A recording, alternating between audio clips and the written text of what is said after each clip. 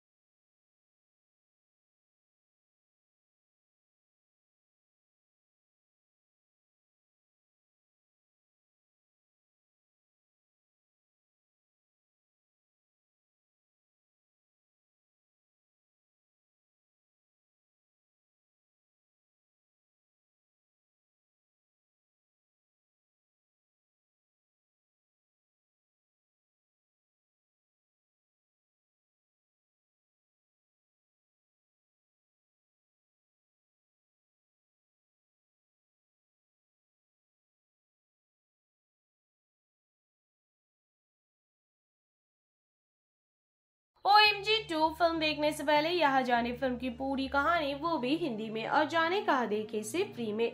भगवान शिव के कट्टर वक्त, कंती शरण मुदगल की शहर के प्रमुख महाकाल मंदिर के बाहर एक दुकान है। एक दिन उन्हें अस्पताल में बुलाया गया और बताया गया कि उनका बेटा विवेक पूरी रात लगातार हस्त हस्तमैथुन करता रहा, जब तक कि वो बेहोश नहीं हो गया और कई वियाग्रा की गोली खा ली। विवेक के दोस्त बताते हैं कि असुरक्षित विवेक को उसके लिंग के आकार को लेकर परेशान किया जाता था और कहा जाता था कि हस्तमैथुन करने से ये बढ़ जाएगा। स्कूल में जीव विज्ञान के शिक्षक ने विवेक के सवालों का जवाब देने से इनकार कर दिया, जिसके कारण उन्हें संदिग्ध लोगों और दवाइयों को अनंत अस्पताल जाना पड़ा। कांति को स्कूल के चेयरमैन ने बताया कि विवेक का स्कूल से शौचालय में हस्तमैथुन करते हुए एक वीडियो चल रहा है, क्योंकि इससे स्कूल की छवि प्रभावित हो रही है। विवेक को अश्लीलता के आधार पर निष्कासित कर दिया गया है। कंती के दोस्तों, पांडे जी, जो मंदिर के एक अमीर पुजारी है, उन्हें शहर छोड़ने की सलाह देते हैं क्योंकि स्थिति उनकी धार्मिक छवि को खराब कर रही है। वीडियो कांति की पत्नी और बेटी और उनके पूरे मोहल्ले तक पहुँच जाता है। उन्हें समाज में शर्मिंदा होना शुरू हो जाता है। तबाह होकर कंती मदद के लिए भगवान शिव से प्रार्थना करती है। तभी मंदिर में एक दिव्य शक्ति चमकती है और भगवान शिव द्वारा भेजा गया एक दूत आता है। अपने बदमाश की हत्या की कोशिश के लिए विवेक के खिलाफ पुलिस शिकायत के बाद मैसेंजर पुलिस स्टेशन में एक विवेक और कांति से मिलता है और कहता है कि वो अपने लापता बैग की शिकायत दर्ज कराने के लिए वहाँ आया है, जहाँ वो विवेक को सांत्वना देता है। विवेक दो बार आत्महत्या करने की कोशिश करता है, लेकिन मैसेंजर द्वारा बचा लिया जाता है। जब वे शहर छोड़ने वाले थे तो वो कांति से मिलता है और उसे बताता है कि उसके बेटे ने कुछ भी गलत नहीं किया है। वो ये समझने के लिए स्तनपान कराने वाली माँ का उदाहरण लेते हैं कि गोपिनी याता में किया गया हर काम गलत या अश्लील नहीं होता। ये स्कूल की गलती है कि उसने उसे ठीक से शिक्षा नहीं दी और कांति की गलती है कि वो उसे ठीक से मार्गदर्शन नहीं दे सका। वो कांति को स्कूल और चिकित्सकों के खिलाफ मामला दर्ज करने की सलाह देता है। कांति ने स्कूल, केमिस्ट, डॉक्टर और खुद के खिलाफ मामला दर्ज किया। जब इस तथ्य का विरोध किया गया कि वो अपने बेटे के कृत्यों का बचाव करके सिर्फ़ अश्लीलता को बढ़ावा दे रहे हैं तो उन्होंने अदालत में ये बात रखी कि सनातन धर्म और भारतीय संस्कृति में हमेशा सेक्स पर बातचीत शामिल थी।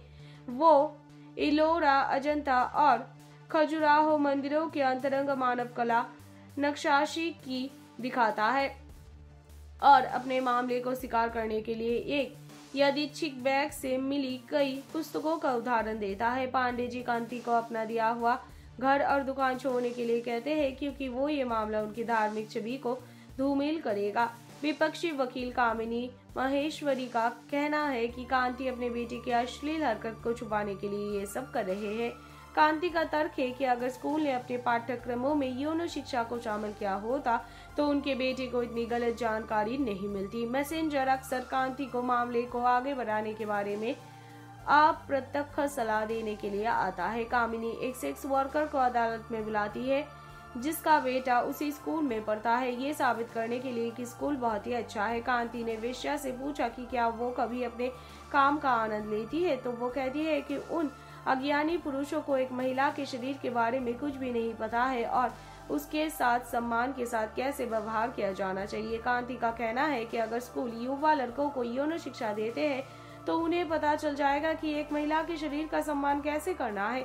फिर वो कहता है कि उसके अपने बेटे को भी उन अज्ञानी पुरुषों की तरह नहीं बनना चाहिए जो खुशी के लिए उसके पास आते हैं, जिससे पूरा अदालत कक्ष अबाक रह जाता है। वो उन्हें एक बहादुर शिक्षिका बताते हुए उन्हें नमन करते हैं। जैसे ही मामला आगे बढ़ता है, कांटी पोर्नोग्राफी, बलात्कार, ड्रग्स और यौन शिक्षा के महत्व से संबंधित मुद्दे बताते हैं। स्कूल के चेयरमैन ने उसे अपना केस वापस लेने के लिए पैसे की पेशकश की है। कांति अपने बेटे के भविष्य को लेकर भावना तक जाल में फंस जाता है और चेक पर हस्ताक्षर कर देता है। वो एक दुर्घटना का शिकार हो जाता है और ज़ाहिर तौर पर मर जाता है। अस्पताल में एक दूत उससे मिलने आता है, जो विश्वास खाने के उसके निर्णय की आलोचना करता है और अंत में खुद को भगवान शिव द्वारा भेजी गई एक दिव्य अभिव्यक्ति के रूप में प्रकट करता है।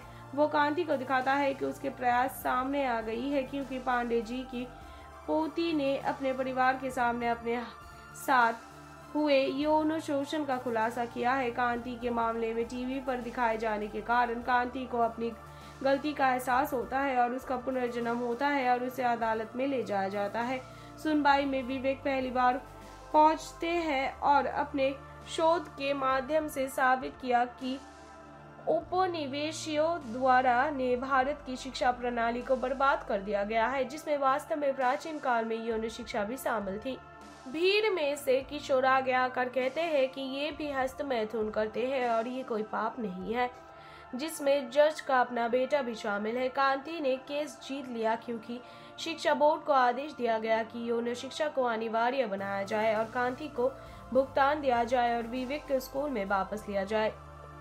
कांति ने मैसेंजर को अपने परिवार का परिचय, उस डॉक्टर जिसने उसका इलाज किया के रूप में कराया और मंदिर के बदले उसके हाथ में सारा पैसा देने की पेशकश की। तब दूत ने खुलासा किया कि खोया हुआ बैग उसका था और विवेक से उसे अपने पास रखने के लिए कहा, जिसके अंदर सांस्कृतिक और धार्मिक पुस्तकें थी। फिर वो कहता है कि उसके पास देखने के लिए एक और मरीज़ है और वो प्रार्थना करते हुए प्रसन्न कांति को छोड़कर चला जाता है। अब बात करें इस फ़िल्म की ओ रिलीज़ को लेकर तो इस फ़िल्म को ओटीटी प्लेटफॉर्म नेटफ्लिक्स पर रिलीज़ कर दी गई है। तो अगर आप इसे फ्री में देखना चाहते हैं तो नेटफ्लिक्स पर फ्री में देख सकते हैं, अगर आपके पास नेटफ्लिक्स का सब्सक्रिप्शन है। O M G two film देखने से पहले यहाँ जाने फ़िल्म की पूरी कहानी वो भी हिंदी में, और जाने कहा देखे से फ्री में। भगवान शिव के कट्टर वक्त कंती शरण मुदगल की शहर के प्रमुख महाकाल मंदिर के बाहर एक दुकान है। एक दिन उन्हें अस्पताल में बुलाया गया और बताया गया कि उनका बेटा विवेक पूरी रात लगातार हस्तमैथुन करता रहा जब तक कि वो बेहोश नहीं हो गया और कई वियाग्रा की गोली खा ली।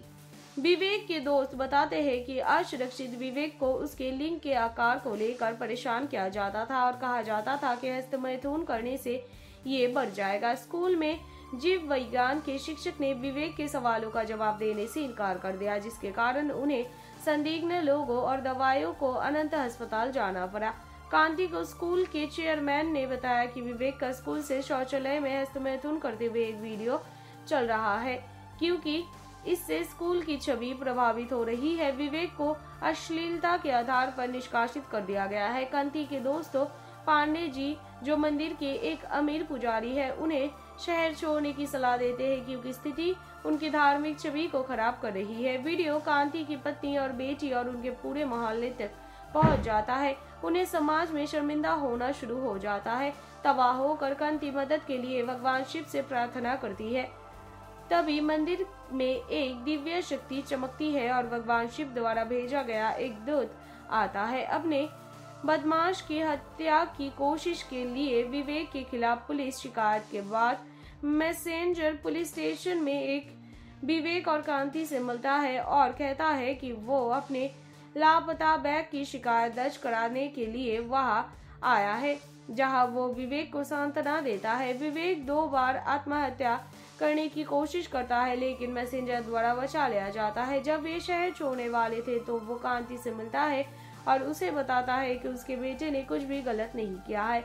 वो ये समझने के लिए स्तनपान कराने वाली माँ का उदाहरण लेते हैं कि गोपिनी याता में किया गया हर काम गलत या अश्लील नहीं होता। ये स्कूल की गलती है कि उसने उसे ठीक से शिक्षा नहीं दी और कांति की गलती है कि वो उसे ठीक से मार्गदर्शन नहीं दे सका। वो कांति को स्कूल और चिकित्सकों के खिलाफ मामला दर्ज करने की सलाह देता है। कांति ने स्कूल, केमिस्ट, डॉक्टर और खुद के खिलाफ मामला दर्ज किया। जब इस तथ्य का विरोध किया गया कि वो अपने बेटे के कृत्यों का बचाव करके सिर्फ़ अश्लीलता को बढ़ावा दे रहे हैं तो उन्होंने अदालत में ये बात रखी कि सनातन धर्म और भारतीय संस्कृति में हमेशा सेक्स पर बातचीत शामिल थी। वो इलोरा, अजंता और खजुराहो मंदिरों के अंतरंग मानव कला नक्शाशी की दिखाता है। और अपने मामले को स्वीकार करने के लिए एक यदिच्छिक बैग से मिली कई पुस्तकों का उदाहरण देता है। पांडे जी कांति को अपना दिया हुआ घर और दुकान छोड़ने के लिए कहते हैं क्योंकि वो ये मामला उनकी धार्मिक छवि को धूमिल करेगा। विपक्षी वकील कामिनी महेश्वरी का कहना है कि कांति अपने बेटे की अश्लील हरकत को छुपाने के लिए ये सब कर रहे हैं। कांति का तर्क है कि अगर स्कूल ने अपने पाठ्यक्रमों में यौन शिक्षा को शामिल किया होता तो उनके बेटे को इतनी गलत जानकारी नहीं मिलती। मैसेंजर अक्सर कांति को मामले को आगे बढ़ाने के बारे में अप्रत्यक्ष सलाह देने के लिए आता है। कामिनी एक सेक्स वर्कर को अदालत में बुलाती है, जिसका बेटा उसी स्कूल में पढ़ता है। ये साबित करने के लिए कि स्कूल बहुत ही अच्छा है। कांति ने वेश्या से पूछा कि क्या वो कभी अपने काम का आनंद लेती है? तो वो कहती है कि उन अज्ञानी पुरुषों को एक महिला के शरीर के बारे में कुछ भी नहीं पता है और उसके साथ सम्मान के साथ कैसे व्यवहार किया जाना चाहिए? कांति का कहना है कि अगर स्कूल युवा लड़कों को यौन शिक्षा देते हैं तो उन्हें पता चल जाएगा कि एक महिला के शरीर का सम्मान कैसे करना है। फिर वो कहता है कि उसके अपने बेटे को भी उन अज्ञानी पुरुषों की तरह नहीं बनना चाहिए जो खुशी के लिए उसके पास आते हैं, जिससे पूरा अदालत कक्ष अबाक रह जाता है। वो उन्हें एक बहादुर शिक्षिका बताते हुए उन्हें नमन करते हैं। जैसे ही मामला आगे बढ़ता है, कांटी पोर्नोग्राफी, बलात्कार, ड्रग्स और यौन शिक्षा के महत्व से संबंधित मुद्दे बताते हैं। स्कूल के चेयरमैन ने उसे अपना केस वापस लेने के लिए पैसे की पेशकश की है। कांति अपने बेटे के भविष्य को लेकर भावना तक जाल में फंस जाता है और चेक पर हस्ताक्षर कर देता है। वो एक दुर्घटना का शिकार हो जाता है और ज़ाहिर तौर पर मर जाता है। अस्पताल में एक दूत उससे मिलने आता है, जो विश्वास खाने के उसके निर्णय की आलोचना करता है और अंत में खुद को भगवान शिव द्वारा भेजी गई एक दिव्य अभिव्यक्ति के रूप में प्रकट करता है। वो कांति को दिखाता है कि उसके प्रयास सामने आ गई है क्योंकि पांडे जी की पोती ने अपने परिवार के सामने अपने साथ हुए। यौन शोषण का खुलासा किया है। कांति के मामले में टीवी पर दिखाए जाने के कारण कांति को अपनी गलती का एहसास होता है और उसका पुनर्जन्म होता है और उसे अदालत में ले जाया जाता है। सुनवाई में विवेक पहली बार पहुँचते हैं और अपने शोध के माध्यम से साबित किया कि उपनिवेशियों द्वारा ने भारत की शिक्षा प्रणाली को बर्बाद कर दिया गया है, जिसमें वास्तव में प्राचीन काल में यौन शिक्षा भी शामिल थी। भीड़ में से किशोर आगे आकर कहते हैं कि ये भी हस्त मैथुन करते हैं और ये कोई पाप नहीं है, जिसमें जज का अपना बेटा भी शामिल है। कांति ने केस जीत लिया क्योंकि शिक्षा बोर्ड को आदेश दिया गया कि यौन शिक्षा को अनिवार्य बनाया जाए और कांति को भुगतान दिया जाए और विवेक को स्कूल में वापस लिया जाए। कांति ने मैसेंजर को अपने परिवार का परिचय, उस डॉक्टर जिसने उसका इलाज किया के रूप में कराया और मंदिर के बदले उसके हाथ में सारा पैसा देने की पेशकश की। तब दूत ने खुलासा किया कि खोया हुआ बैग उसका था और विवेक से उसे अपने पास रखने के लिए कहा, जिसके अंदर सांस्कृतिक और धार्मिक पुस्तकें थी। फिर वो कहता है कि उसके पास देखने के लिए एक और मरीज़ है और वो प्रार्थना करते हुए प्रसन्न कांति को छोड़कर चला जाता है। अब बात करें इस फ़िल्म की ओ रिलीज़ को लेकर तो इस फ़िल्म को ओ प्लेटफॉर्म नेटफ्लिक्स पर रिलीज़ कर दी गई है। तो अगर आप इसे फ्री में देखना चाहते हैं तो नेटफ्लिक्स पर फ्री में देख सकते हैं, अगर आपके पास नेटफ्लिक्स का सब्सक्रिप्शन है। O M G two film देखने से पहले यहाँ जाने फ़िल्म की पूरी कहानी वो भी हिंदी में, और जाने कहा देखे से फ्री में। भगवान शिव के कट्टर वक्त कंती शरण मुदगल की शहर के प्रमुख महाकाल मंदिर के बाहर एक दुकान है। एक दिन उन्हें अस्पताल में बुलाया गया और बताया गया कि उनका बेटा विवेक पूरी रात लगातार हस्त मैथुन करता रहा जब तक कि वो बेहोश नहीं हो गया और कई वियाग्रा की गोली खा ली। विवेक के दोस्त बताते हैं कि असुरक्षित विवेक को उसके लिंग के आकार को लेकर परेशान किया जाता था और कहा जाता था कि हस्त मैथुन करने से ये बढ़ जाएगा। स्कूल में जीव विज्ञान के शिक्षक ने विवेक के सवालों का जवाब देने से इनकार कर दिया, जिसके कारण उन्हें संदिग्ध लोगों और दवाइयों को अनंत अस्पताल जाना पड़ा। कांति को स्कूल के चेयरमैन ने बताया कि विवेक का स्कूल से शौचालय में हस्तमैथुन करते हुए एक वीडियो चल रहा है, क्योंकि इससे स्कूल की छवि प्रभावित हो रही है। विवेक को अश्लीलता के आधार पर निष्कासित कर दिया गया है। कांति के दोस्तों, पांडे जी जो मंदिर के एक अमीर पुजारी है, उन्हें शहर छोड़ने की सलाह देते हैं क्योंकि स्थिति उनकी धार्मिक छवि को खराब कर रही है। वीडियो कांति की पत्नी और बेटी और उनके पूरे मोहल्ले तक पहुँच जाता है। उन्हें समाज में शर्मिंदा होना शुरू हो जाता है। तबाह होकर कांति मदद के लिए भगवान शिव से प्रार्थना करती है।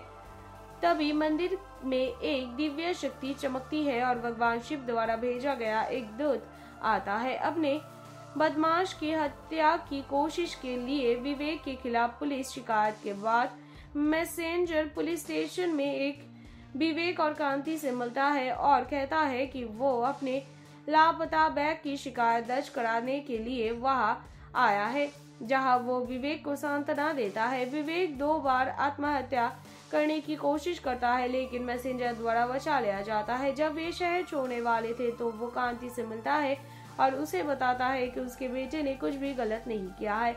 वो ये समझने के लिए स्तनपान कराने वाली माँ का उदाहरण लेते हैं कि गोपिनी याता में किया गया हर काम गलत या अश्लील नहीं होता।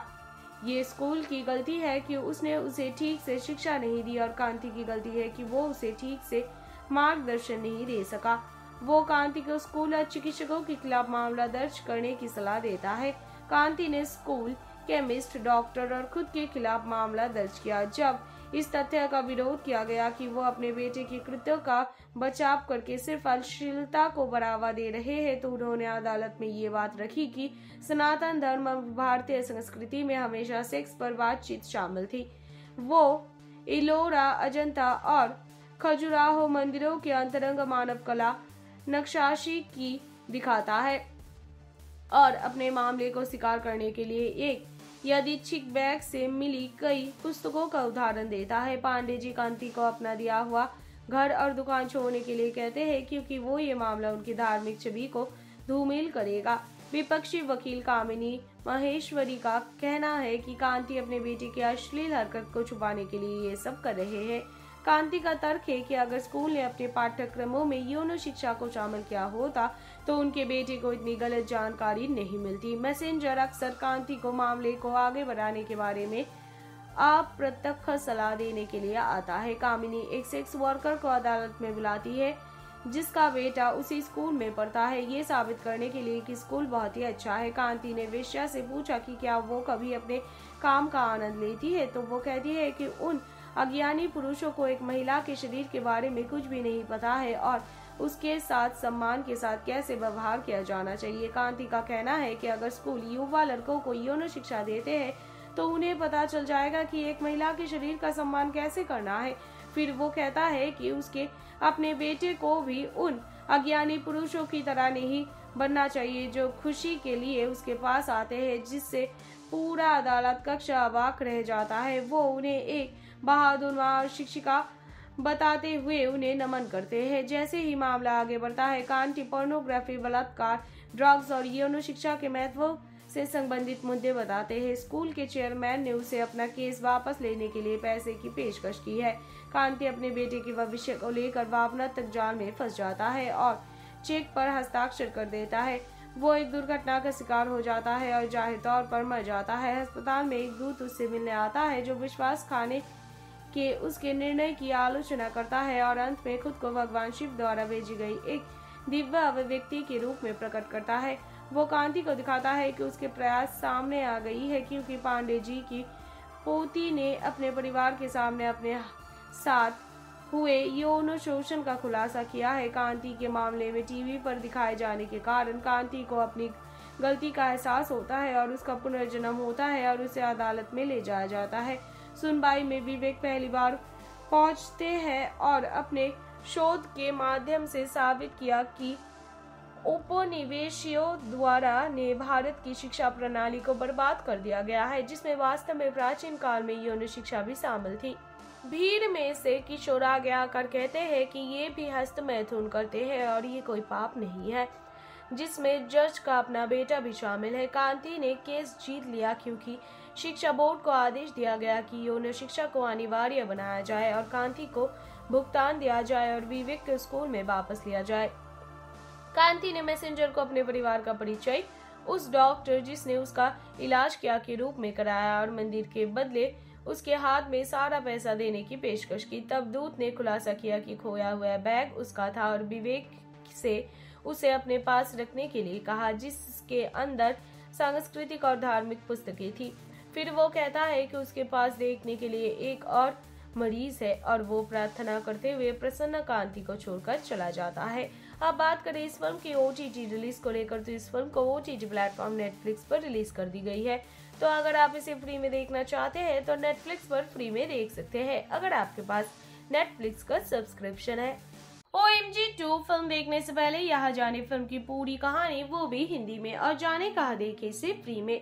भगवान शिव के कट्टर वक्त कंती शरण मुदगल की शहर के प्रमुख महाकाल मंदिर के बाहर एक दुकान है।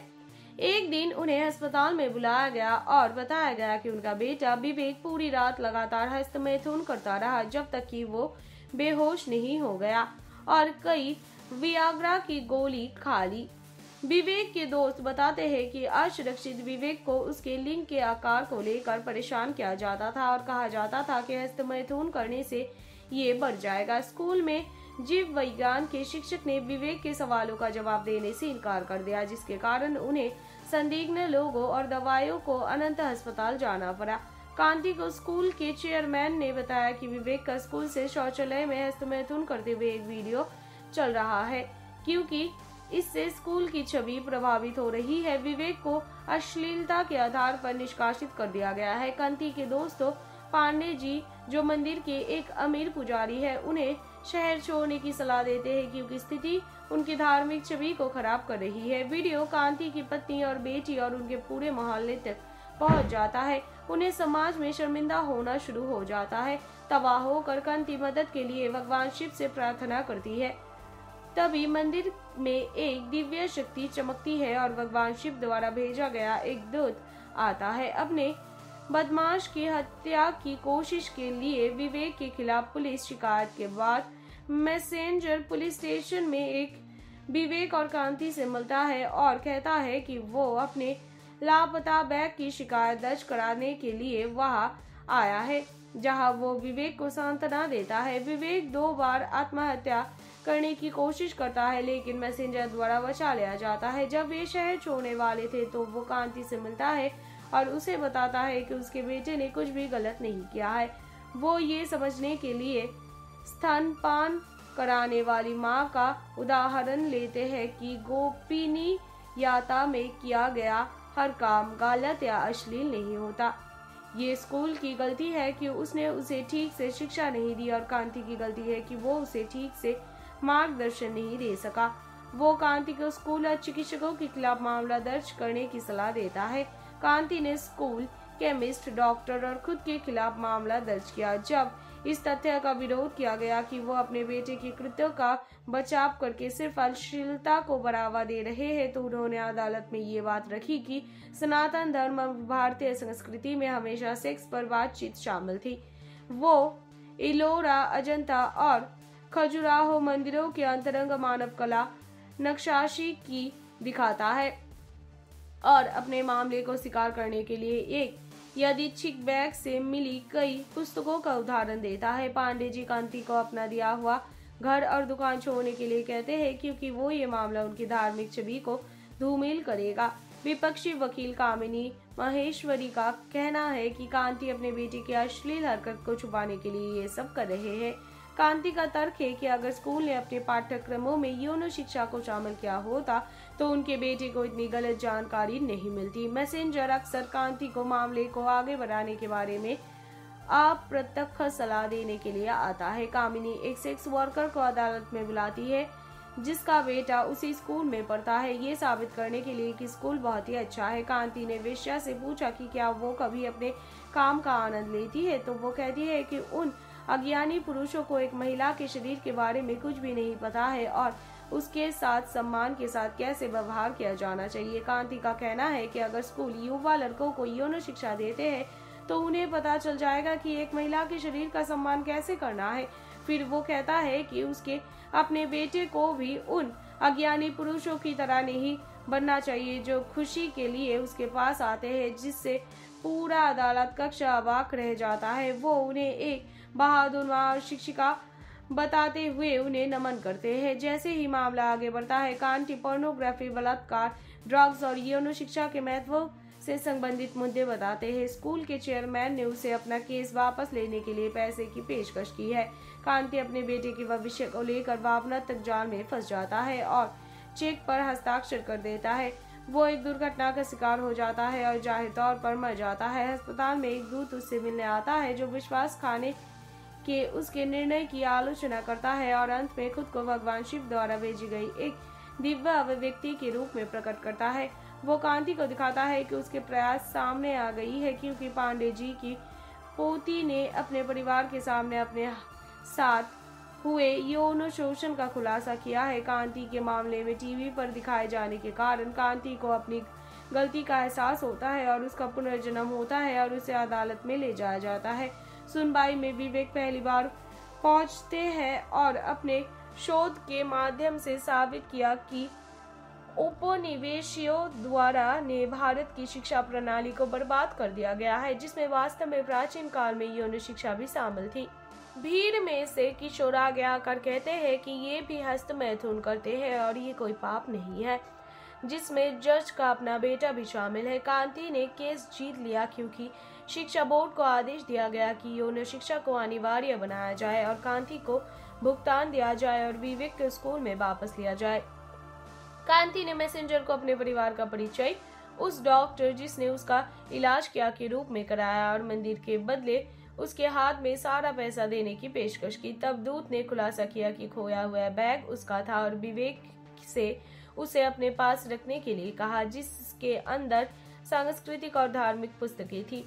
फिर वो कहता है कि उसके पास देखने के लिए एक और मरीज़ है और वो प्रार्थना करते हुए प्रसन्न कांति को छोड़कर चला जाता है।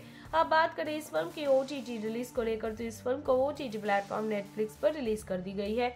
तो अगर आप इसे फ्री में देखना चाहते हैं तो नेटफ्लिक्स पर फ्री में देख सकते हैं, अगर आपके पास नेटफ्लिक्स का सब्सक्रिप्शन है। O M G two film देखने से पहले यहाँ जाने फ़िल्म की पूरी कहानी, वो भी हिंदी में, और जाने कहा देखे से फ्री में। भगवान शिव के कट्टर वक्त कंती शरण मुदगल की शहर के प्रमुख महाकाल मंदिर के बाहर एक दुकान है। एक दिन उन्हें अस्पताल में बुलाया गया और बताया गया कि उनका बेटा विवेक पूरी रात लगातार हस्त मैथुन करता रहा जब तक कि वो बेहोश नहीं हो गया और कई वियाग्रा की गोली खा ली। विवेक के दोस्त बताते हैं कि असुरक्षित विवेक को उसके लिंग के आकार को लेकर परेशान किया जाता था और कहा जाता था कि हस्त मैथुन करने से ये बढ़ जाएगा। स्कूल में जीव विज्ञान के शिक्षक ने विवेक के सवालों का जवाब देने से इनकार कर दिया, जिसके कारण उन्हें संदिग्ध लोगों और दवाइयों को अनंत अस्पताल जाना पड़ा। कांति को स्कूल के चेयरमैन ने बताया कि विवेक का स्कूल से शौचालय में हस्तमैथुन करते हुए एक वीडियो चल रहा है, क्योंकि इससे स्कूल की छवि प्रभावित हो रही है। विवेक को अश्लीलता के आधार पर निष्कासित कर दिया गया है। कांति के दोस्तों, पांडे जी जो मंदिर के एक अमीर पुजारी है, उन्हें शहर छोड़ने की सलाह देते हैं क्योंकि स्थिति उनकी धार्मिक छवि को खराब कर रही है। वीडियो कांति की पत्नी और बेटी और उनके पूरे मोहल्ले तक पहुँच जाता है। उन्हें समाज में शर्मिंदा होना शुरू हो जाता है। तबाह होकर कांति मदद के लिए भगवान शिव से प्रार्थना करती है। तभी मंदिर में एक दिव्य शक्ति चमकती है और भगवान शिव द्वारा भेजा गया एक दूत आता है। अपने बदमाश की हत्या की कोशिश के लिए विवेक के खिलाफ पुलिस शिकायत के बाद मैसेंजर पुलिस स्टेशन में एक विवेक और कांति से मिलता है और कहता है कि वो अपने लापता बैग की शिकायत दर्ज कराने के लिए वहाँ आया है, जहाँ वो विवेक को सांत्वना देता है। विवेक दो बार आत्महत्या करने की कोशिश करता है, लेकिन मैसेंजर द्वारा बचा लिया जाता है। जब वे शहर छोड़ने वाले थे तो वो कांति से मिलता है और उसे बताता है कि उसके बेटे ने कुछ भी गलत नहीं किया है। वो ये समझने के लिए स्तनपान कराने वाली माँ का उदाहरण लेते हैं कि गोपिनी याता में किया गया हर काम गलत या अश्लील नहीं होता। ये स्कूल की गलती है कि उसने उसे ठीक से शिक्षा नहीं दी और कांति की गलती है कि वो उसे ठीक से मार्गदर्शन नहीं दे सका। वो कांति को स्कूल और चिकित्सकों के खिलाफ मामला दर्ज करने की सलाह देता है। कांति ने स्कूल केमिस्ट, डॉक्टर और खुद के खिलाफ मामला दर्ज किया। जब इस तथ्य का विरोध किया गया कि वो अपने बेटे की कृत्यों का बचाव करके सिर्फ़ अश्लीलता को बढ़ावा दे रहे हैं तो उन्होंने अदालत में ये बात रखी कि सनातन धर्म और भारतीय संस्कृति में हमेशा सेक्स पर बातचीत शामिल थी। वो इलोरा, अजंता और खजुराहो मंदिरों के अंतरंग मानव कला नक्शाशी की दिखाता है। और अपने मामले को स्वीकार करने के लिए एक यदिच्छिक बैग से मिली कई पुस्तकों का उदाहरण देता है। पांडे जी कांति को अपना दिया हुआ घर और दुकान छोड़ने के लिए कहते हैं क्योंकि वो ये मामला उनकी धार्मिक छवि को धूमिल करेगा। विपक्षी वकील कामिनी महेश्वरी का कहना है कि कांति अपने बेटे की अश्लील हरकत को छुपाने के लिए ये सब कर रहे हैं। कांति का तर्क है कि अगर स्कूल ने अपने पाठ्यक्रमों में यौन शिक्षा को शामिल किया होता तो उनके बेटे को इतनी गलत जानकारी नहीं मिलती। मैसेंजर अक्सर कांति को मामले को आगे बढ़ाने के बारे में अप्रत्यक्ष सलाह देने के लिए आता है। कामिनी एक सेक्स वर्कर को अदालत में बुलाती है, जिसका बेटा उसी स्कूल में पढ़ता है। ये साबित करने के लिए कि स्कूल बहुत ही अच्छा है। कांति ने वेश्या से पूछा कि क्या वो कभी अपने काम का आनंद लेती है? तो वो कहती है कि उन अज्ञानी पुरुषों को एक महिला के शरीर के बारे में कुछ भी नहीं पता है और उसके साथ सम्मान के साथ कैसे व्यवहार किया जाना चाहिए? कांति का कहना है कि अगर स्कूल युवा लड़कों को यौन शिक्षा देते हैं तो उन्हें पता चल जाएगा कि एक महिला के शरीर का सम्मान कैसे करना है। फिर वो कहता है कि उसके अपने बेटे को भी उन अज्ञानी पुरुषों की तरह नहीं बनना चाहिए जो खुशी के लिए उसके पास आते हैं, जिससे पूरा अदालत कक्ष अबाक रह जाता है। वो उन्हें एक बहादुर शिक्षिका बताते हुए उन्हें नमन करते हैं। जैसे ही मामला आगे बढ़ता है, कांटी पोर्नोग्राफी बलात्कार ड्रग्स और यौन शिक्षा के महत्व से संबंधित मुद्दे बताते हैं। स्कूल के चेयरमैन ने उसे अपना केस वापस लेने के लिए पैसे की पेशकश की है। कांति अपने बेटे के भविष्य को लेकर भावना तक जाल में फंस जाता है और चेक पर हस्ताक्षर कर देता है। वो एक दुर्घटना का शिकार हो जाता है और ज़ाहिर तौर पर मर जाता है। अस्पताल में एक दूत उससे मिलने आता है, जो विश्वास खाने के उसके निर्णय की आलोचना करता है और अंत में खुद को भगवान शिव द्वारा भेजी गई एक दिव्य अभिव्यक्ति के रूप में प्रकट करता है। वो कांति को दिखाता है कि उसके प्रयास सामने आ गई है क्योंकि पांडे जी की पोती ने अपने परिवार के सामने अपने साथ हुए। यौन शोषण का खुलासा किया है। कांति के मामले में टीवी पर दिखाए जाने के कारण कांति को अपनी गलती का एहसास होता है और उसका पुनर्जन्म होता है और उसे अदालत में ले जाया जाता है। सुनवाई में विवेक पहली बार पहुँचते हैं और अपने शोध के माध्यम से साबित किया कि उपनिवेशियों द्वारा ने भारत की शिक्षा प्रणाली को बर्बाद कर दिया गया है, जिसमें वास्तव में प्राचीन काल में यौन शिक्षा भी शामिल थी।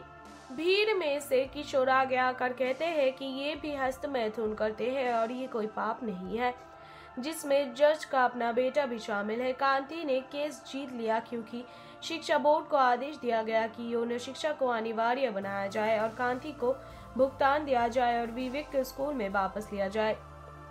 कांति ने मैसेंजर को अपने परिवार का परिचय, उस डॉक्टर जिसने उसका इलाज किया के रूप में कराया और मंदिर के बदले उसके हाथ में सारा पैसा देने की पेशकश की। तब दूत ने खुलासा किया कि खोया हुआ बैग उसका था और विवेक से उसे अपने पास रखने के लिए कहा, जिसके अंदर सांस्कृतिक और धार्मिक पुस्तकें थी।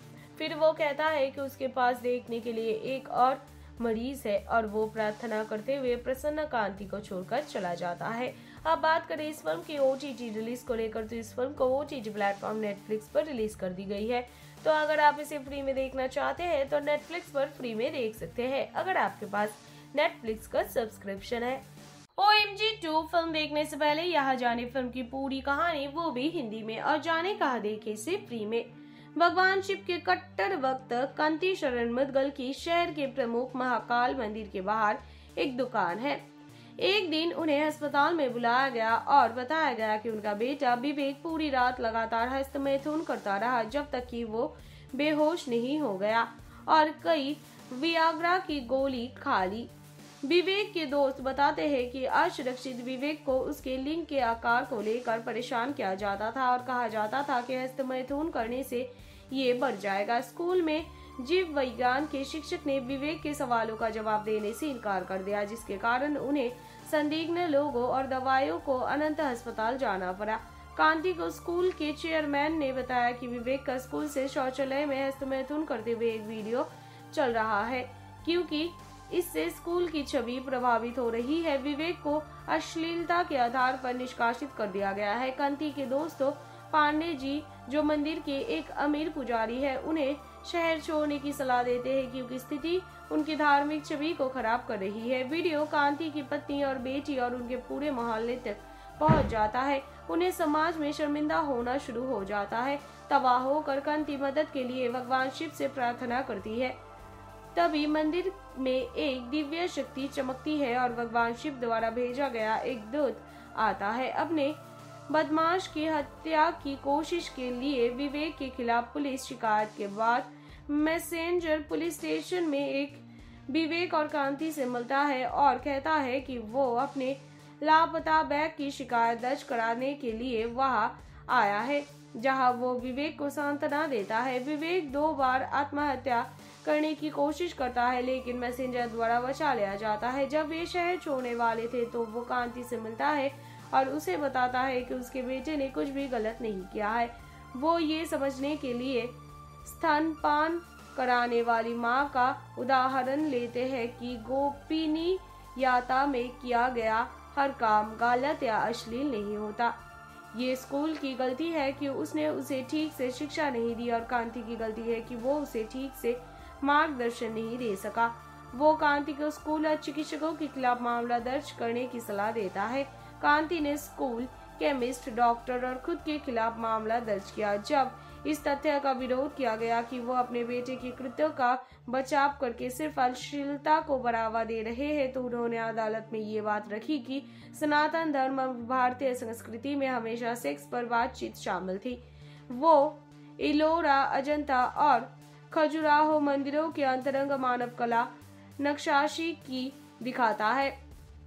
और अपने मामले को स्वीकार करने के लिए एक यदिच्छिक बैग से मिली कई पुस्तकों का उदाहरण देता है। पांडे जी कांति को अपना दिया हुआ घर और दुकान छोड़ने के लिए कहते हैं क्योंकि वो ये मामला उनकी धार्मिक छवि को धूमिल करेगा। विपक्षी वकील कामिनी महेश्वरी का कहना है कि कांति अपने बेटे की अश्लील हरकत को छुपाने के लिए ये सब कर रहे हैं। कांति का तर्क है कि अगर स्कूल ने अपने पाठ्यक्रमों में यौन शिक्षा को शामिल किया होता तो उनके बेटे को इतनी गलत जानकारी नहीं मिलती। मैसेंजर अक्सर कांति को मामले को आगे बढ़ाने के बारे में अप्रत्यक्ष सलाह देने के लिए आता है। कामिनी एक सेक्स वर्कर को अदालत में बुलाती है, जिसका बेटा उसी स्कूल में पढ़ता है। ये साबित करने के लिए कि स्कूल बहुत ही अच्छा है। कांति ने वेश्या से पूछा कि क्या वो कभी अपने काम का आनंद लेती है? तो वो कहती है कि उन अज्ञानी पुरुषों को एक महिला के शरीर के बारे में कुछ भी नहीं पता है और उसके साथ सम्मान के साथ कैसे व्यवहार किया जाना चाहिए? कांति का कहना है कि अगर स्कूल युवा लड़कों को यौन शिक्षा देते हैं तो उन्हें पता चल जाएगा कि एक महिला के शरीर का सम्मान कैसे करना है। फिर वो कहता है कि उसके अपने बेटे को भी उन अज्ञानी पुरुषों की तरह नहीं बनना चाहिए जो खुशी के लिए उसके पास आते हैं, जिससे पूरा अदालत कक्ष अबाक रह जाता है। वो उन्हें एक बहादुर शिक्षिका बताते हुए उन्हें नमन करते हैं। जैसे ही मामला आगे बढ़ता है, कांटी पोर्नोग्राफी बलात्कार ड्रग्स और यौन शिक्षा के महत्व से संबंधित मुद्दे बताते हैं। स्कूल के चेयरमैन ने उसे अपना केस वापस लेने के लिए पैसे की पेशकश की है। कांति अपने बेटे के भविष्य को लेकर भावना तक जाल में फंस जाता है और चेक पर हस्ताक्षर कर देता है। वो एक दुर्घटना का शिकार हो जाता है और ज़ाहिर तौर पर मर जाता है। अस्पताल में एक दूत उससे मिलने आता है, जो विश्वास खाने के उसके निर्णय की आलोचना करता है और अंत में खुद को भगवान शिव द्वारा भेजी गई एक दिव्य व्यक्ति के रूप में प्रकट करता है।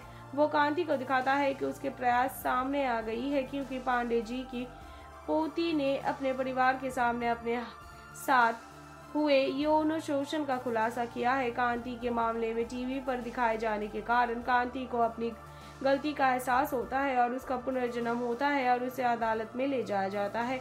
सुनवाई में विवेक पहली बार पहुँचते हैं और अपने शोध के माध्यम से साबित किया कि उपनिवेशियों द्वारा ने भारत की शिक्षा प्रणाली को बर्बाद कर दिया गया है, जिसमें वास्तव में प्राचीन काल में यौन शिक्षा भी शामिल थी।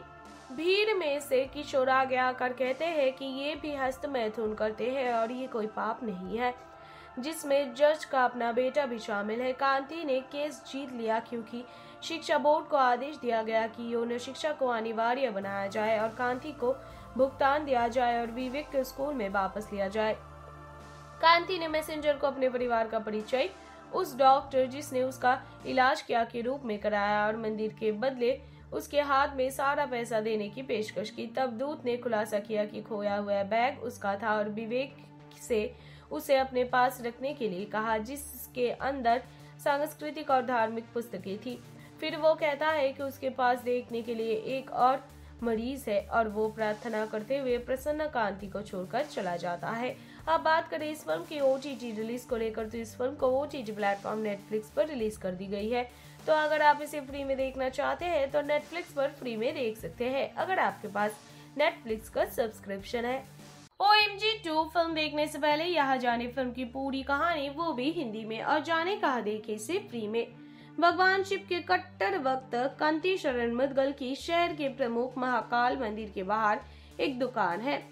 एक दिन उन्हें अस्पताल में बुलाया गया और बताया गया कि उनका बेटा विवेक पूरी रात लगातार हस्तमैथुन करता रहा जब तक कि वो बेहोश नहीं हो गया और कई वियाग्रा की गोली खा ली।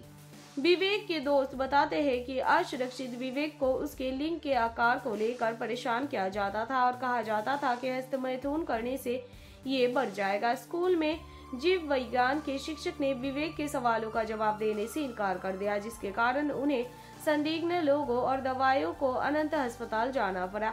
कांति को स्कूल के चेयरमैन ने बताया कि विवेक का स्कूल से शौचालय में हस्तमैथुन करते हुए एक वीडियो चल रहा है, क्योंकि इससे स्कूल की छवि प्रभावित हो रही है। विवेक को अश्लीलता के आधार पर निष्कासित कर दिया गया है। कांति के दोस्तों, पांडे जी जो मंदिर के एक अमीर पुजारी है, उन्हें शहर छोड़ने की सलाह देते हैं क्योंकि स्थिति उनकी धार्मिक छवि को खराब कर रही है। वीडियो कांति की पत्नी और बेटी और उनके पूरे मोहल्ले तक पहुँच जाता है। उन्हें समाज में शर्मिंदा होना शुरू हो जाता है। तबाह होकर कांति मदद के लिए भगवान शिव से प्रार्थना करती है। तभी मंदिर में एक दिव्य शक्ति चमकती है और भगवान शिव द्वारा भेजा गया एक दूत आता है। अपने बदमाश की हत्या की कोशिश के लिए विवेक के खिलाफ पुलिस शिकायत के बाद मैसेंजर पुलिस स्टेशन में एक विवेक और कांति से मिलता है और कहता है कि वो अपने लापता बैग की शिकायत दर्ज कराने के लिए वहाँ आया है, जहाँ वो विवेक को सांत्वना देता है। विवेक दो बार आत्महत्या करने की कोशिश करता है, लेकिन मैसेंजर द्वारा बचा लिया जाता है। जब वे शहर छोड़ने वाले थे तो वो कांति से मिलता है और उसे बताता है कि उसके बेटे ने कुछ भी गलत नहीं किया है। वो ये समझने के लिए स्तनपान कराने वाली माँ का उदाहरण लेते हैं कि गोपिनी याता में किया गया हर काम गलत या अश्लील नहीं होता। ये स्कूल की गलती है कि उसने उसे ठीक से शिक्षा नहीं दी और कांति की गलती है कि वो उसे ठीक से मार्गदर्शन नहीं दे सका। वो कांति को स्कूल और चिकित्सकों के खिलाफ मामला दर्ज करने की सलाह देता है। कांति ने स्कूल, केमिस्ट, डॉक्टर और खुद के खिलाफ मामला दर्ज किया। जब इस तथ्य का विरोध किया गया कि वो अपने बेटे के कृत्यों का बचाव करके सिर्फ़ अश्लीलता को बढ़ावा दे रहे हैं तो उन्होंने अदालत में ये बात रखी कि सनातन धर्म और भारतीय संस्कृति में हमेशा सेक्स पर बातचीत शामिल थी। वो इलोरा, अजंता और खजुराहो मंदिरों के अंतरंग मानव कला नक्शाशी की दिखाता है। और अपने मामले को स्वीकार करने के लिए एक यादृच्छिक बैग से मिली कई पुस्तकों का उदाहरण देता है। पांडे जी कांति को अपना दिया हुआ घर और दुकान छोड़ने के लिए कहते हैं क्योंकि वो ये मामला उनकी धार्मिक छवि को धूमिल करेगा। विपक्षी वकील कामिनी महेश्वरी का कहना है कि कांति अपने बेटे की अश्लील हरकत को छुपाने के लिए ये सब कर रहे हैं। कांति का तर्क है कि अगर स्कूल ने अपने पाठ्यक्रमों में यौन शिक्षा को शामिल किया होता तो उनके बेटे को इतनी गलत जानकारी नहीं मिलती। मैसेंजर अक्सर कांति को मामले को आगे बढ़ाने के बारे में अप्रत्यक्ष सलाह देने के लिए आता है। कामिनी एक सेक्स वर्कर को अदालत में बुलाती है, जिसका बेटा उसी स्कूल में पढ़ता है। ये साबित करने के लिए कि स्कूल बहुत ही अच्छा है। कांति ने वेश्या से पूछा कि क्या वो कभी अपने काम का आनंद लेती है? तो वो कहती है कि उन अज्ञानी पुरुषों को एक महिला के शरीर के बारे में कुछ भी नहीं पता है और उसके साथ सम्मान के साथ कैसे व्यवहार किया जाना चाहिए? कांति का कहना है कि अगर स्कूल युवा लड़कों को यौन शिक्षा देते हैं तो उन्हें पता चल जाएगा कि एक महिला के शरीर का सम्मान कैसे करना है। फिर वो कहता है कि उसके अपने बेटे को भी उन अज्ञानी पुरुषों की तरह नहीं बनना चाहिए जो खुशी के लिए उसके पास आते हैं, जिससे पूरा अदालत कक्ष अबाक रह जाता है। वो उन्हें एक बहादुर शिक्षिका बताते हुए उन्हें नमन करते हैं। जैसे ही मामला आगे बढ़ता है, कांटी पोर्नोग्राफी, बलात्कार, ड्रग्स और यौन शिक्षा के महत्व से संबंधित मुद्दे बताते हैं। स्कूल के चेयरमैन ने उसे अपना केस वापस लेने के लिए पैसे की पेशकश की है। कांति अपने बेटे के भविष्य को लेकर भावना तक जाल में फंस जाता है और चेक पर हस्ताक्षर कर देता है। वो एक दुर्घटना का शिकार हो जाता है और ज़ाहिर तौर पर मर जाता है। अस्पताल में एक दूत उससे मिलने आता है, जो विश्वास खाने के उसके निर्णय की आलोचना करता है और अंत में खुद को भगवान शिव द्वारा भेजी गई एक दिव्य अभिव्यक्ति के रूप में प्रकट करता है। वो कांति को दिखाता है कि उसके प्रयास सामने आ गई है क्योंकि पांडे जी की पोती ने अपने परिवार के सामने अपने साथ हुए। यौन शोषण का खुलासा किया है। कांति के मामले में टीवी पर दिखाए जाने के कारण कांति को अपनी गलती का एहसास होता है और उसका पुनर्जन्म होता है और उसे अदालत में ले जाया जाता है। सुनवाई में विवेक पहली बार पहुँचते हैं और अपने शोध के माध्यम से साबित किया कि उपनिवेशियों द्वारा ने भारत की शिक्षा प्रणाली को बर्बाद कर दिया गया है, जिसमें वास्तव में प्राचीन काल में यौन शिक्षा भी शामिल थी।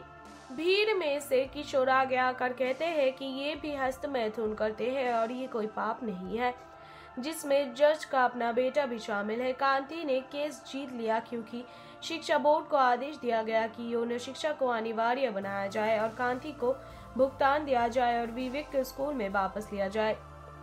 कांति ने मैसेंजर को अपने परिवार का परिचय, उस डॉक्टर जिसने उसका इलाज किया के रूप में कराया और मंदिर के बदले उसके हाथ में सारा पैसा देने की पेशकश की। तब दूत ने खुलासा किया कि खोया हुआ बैग उसका था और विवेक से उसे अपने पास रखने के लिए कहा, जिसके अंदर सांस्कृतिक और धार्मिक पुस्तकें थी।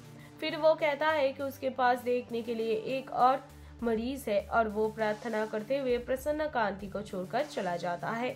अब बात करें इस फ़िल्म की ओ रिलीज़ को लेकर तो इस फ़िल्म को ओटीटी प्लेटफॉर्म नेटफ्लिक्स पर रिलीज़ कर दी गई है। तो अगर आप इसे फ्री में देखना चाहते हैं तो नेटफ्लिक्स पर फ्री में देख सकते हैं, अगर आपके पास नेटफ्लिक्स का सब्सक्रिप्शन है।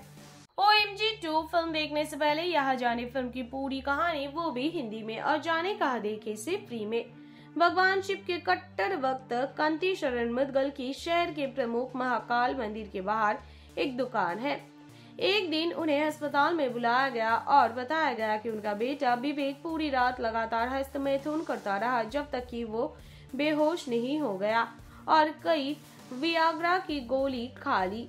विवेक के दोस्त बताते हैं कि असुरक्षित विवेक को उसके लिंग के आकार को लेकर परेशान किया जाता था और कहा जाता था कि हस्त मैथुन करने से ये बढ़ जाएगा। स्कूल में जीव विज्ञान के शिक्षक ने विवेक के सवालों का जवाब देने से इनकार कर दिया, जिसके कारण उन्हें संदिग्ध लोगों और दवाइयों को अनंत अस्पताल जाना पड़ा। कांति को स्कूल के चेयरमैन ने बताया कि विवेक का स्कूल से शौचालय में हस्तमैथुन करते हुए एक वीडियो चल रहा है, क्योंकि इससे स्कूल की छवि प्रभावित हो रही है। विवेक को अश्लीलता के आधार पर निष्कासित कर दिया गया है। कांति के दोस्तों, पांडे जी जो मंदिर के एक अमीर पुजारी है, उन्हें शहर छोड़ने की सलाह देते हैं क्योंकि स्थिति उनकी धार्मिक छवि को खराब कर रही है। वीडियो कांति की पत्नी और बेटी और उनके पूरे मोहल्ले तक पहुँच जाता है। उन्हें समाज में शर्मिंदा होना शुरू हो जाता है। तबाह होकर कांति मदद के लिए भगवान शिव से प्रार्थना करती है। तभी मंदिर में एक दिव्य शक्ति चमकती है और भगवान शिव द्वारा भेजा गया एक दूत आता है। अपने बदमाश की हत्या की कोशिश के लिए विवेक के खिलाफ पुलिस शिकायत के बाद मैसेंजर पुलिस स्टेशन में एक विवेक और कांति से मिलता है और कहता है कि वो अपने लापता बैग की शिकायत दर्ज कराने के लिए वहाँ आया है, जहाँ वो विवेक को सांत्वना देता है। विवेक दो बार आत्महत्या करने की कोशिश करता है, लेकिन मैसेंजर द्वारा बचा लिया जाता है। जब वे शहर छोड़ने वाले थे तो वो कांति से मिलता है और उसे बताता है कि उसके बेटे ने कुछ भी गलत नहीं किया है। वो ये समझने के लिए स्तनपान कराने वाली माँ का उदाहरण लेते हैं कि गोपिनी याता में किया गया हर काम गलत या अश्लील नहीं होता। ये स्कूल की गलती है कि उसने उसे ठीक से शिक्षा नहीं दी और कांति की गलती है कि वो उसे ठीक से मार्गदर्शन नहीं दे सका। वो कांति को स्कूल और चिकित्सकों के खिलाफ मामला दर्ज करने की सलाह देता है। कांति ने स्कूल, केमिस्ट, डॉक्टर और खुद के खिलाफ मामला दर्ज किया। जब इस तथ्य का विरोध किया गया कि वो अपने बेटे की कृत्यों का बचाव करके सिर्फ़ अश्लीलता को बढ़ावा दे रहे हैं तो उन्होंने अदालत में ये बात रखी कि सनातन धर्म और भारतीय संस्कृति में हमेशा सेक्स पर बातचीत शामिल थी। वो इलोरा, अजंता और खजुराहो मंदिरों के अंतरंग मानव कला नक्शाशी की दिखाता है। और अपने मामले को स्वीकार करने के लिए एक यादृच्छिक बैग से मिली कई पुस्तकों का उदाहरण देता है। पांडे जी कांति को अपना दिया हुआ घर और दुकान छोड़ने के लिए कहते हैं क्योंकि वो ये मामला उनकी धार्मिक छवि को धूमिल करेगा। विपक्षी वकील कामिनी महेश्वरी का कहना है कि कांति अपने बेटे की अश्लील हरकत को छुपाने के लिए ये सब कर रहे हैं। कांति का तर्क है कि अगर स्कूल ने अपने पाठ्यक्रमों में यौन शिक्षा को शामिल किया होता तो उनके बेटे को इतनी गलत जानकारी नहीं मिलती। मैसेंजर अक्सर कांति को मामले को आगे बढ़ाने के बारे में अप्रत्यक्ष सलाह देने के लिए आता है। कामिनी एक सेक्स वर्कर को अदालत में बुलाती है, जिसका बेटा उसी स्कूल में पढ़ता है। ये साबित करने के लिए कि स्कूल बहुत ही अच्छा है। कांति ने वेश्या से पूछा कि क्या वो कभी अपने काम का आनंद लेती है? तो वो कहती है कि उन अज्ञानी पुरुषों को एक महिला के शरीर के बारे में कुछ भी नहीं पता है और उसके साथ सम्मान के साथ कैसे व्यवहार किया जाना चाहिए? कांति का कहना है कि अगर स्कूल युवा लड़कों को यौन शिक्षा देते हैं तो उन्हें पता चल जाएगा कि एक महिला के शरीर का सम्मान कैसे करना है। फिर वो कहता है कि उसके अपने बेटे को भी उन अज्ञानी पुरुषों की तरह नहीं बनना चाहिए जो खुशी के लिए उसके पास आते हैं, जिससे पूरा अदालत कक्ष अबाक रह जाता है। वो उन्हें एक बहादुर शिक्षिका बताते हुए उन्हें नमन करते हैं। जैसे ही मामला आगे बढ़ता है, कांटी पोर्नोग्राफी, बलात्कार, ड्रग्स और यौन शिक्षा के महत्व से संबंधित मुद्दे बताते हैं। स्कूल के चेयरमैन ने उसे अपना केस वापस लेने के लिए पैसे की पेशकश की है। कांति अपने बेटे के भविष्य को लेकर भावना तक जाल में फंस जाता है और चेक पर हस्ताक्षर कर देता है। वो एक दुर्घटना का शिकार हो जाता है और ज़ाहिर तौर पर मर जाता है। अस्पताल में एक दूत उससे मिलने आता है, जो विश्वास खाने के उसके निर्णय की आलोचना करता है और अंत में खुद को भगवान शिव द्वारा भेजी गई एक दिव्य अभिव्यक्ति के रूप में प्रकट करता है। वो कांति को दिखाता है कि उसके प्रयास सामने आ गई है क्योंकि पांडे जी की पोती ने अपने परिवार के सामने अपने साथ हुए। यौन शोषण का खुलासा किया है। कांति के मामले में टीवी पर दिखाए जाने के कारण कांति को अपनी गलती का एहसास होता है और उसका पुनर्जन्म होता है और उसे अदालत में ले जाया जाता है। सुनवाई में विवेक पहली बार पहुँचते हैं और अपने शोध के माध्यम से साबित किया कि उपनिवेशियों द्वारा ने भारत की शिक्षा प्रणाली को बर्बाद कर दिया गया है, जिसमें वास्तव में प्राचीन काल में यौन शिक्षा भी शामिल थी। भीड़ में से किशोर आगे आकर कहते हैं कि ये भी हस्त मैथुन करते हैं और ये कोई पाप नहीं है। जिसमें जज का अपना बेटा भी शामिल है। कांति ने केस जीत लिया क्योंकि शिक्षा बोर्ड को आदेश दिया गया कि यौन शिक्षा को अनिवार्य बनाया जाए और कांति को भुगतान दिया जाए और विवेक को स्कूल में वापस लिया जाए। कांति ने मैसेंजर को अपने परिवार का परिचय, उस डॉक्टर जिसने उसका इलाज किया के रूप में कराया और मंदिर के बदले उसके हाथ में सारा पैसा देने की पेशकश की। तब दूत ने खुलासा किया कि खोया हुआ बैग उसका था और विवेक से उसे अपने पास रखने के लिए कहा, जिसके अंदर सांस्कृतिक और धार्मिक पुस्तकें थी।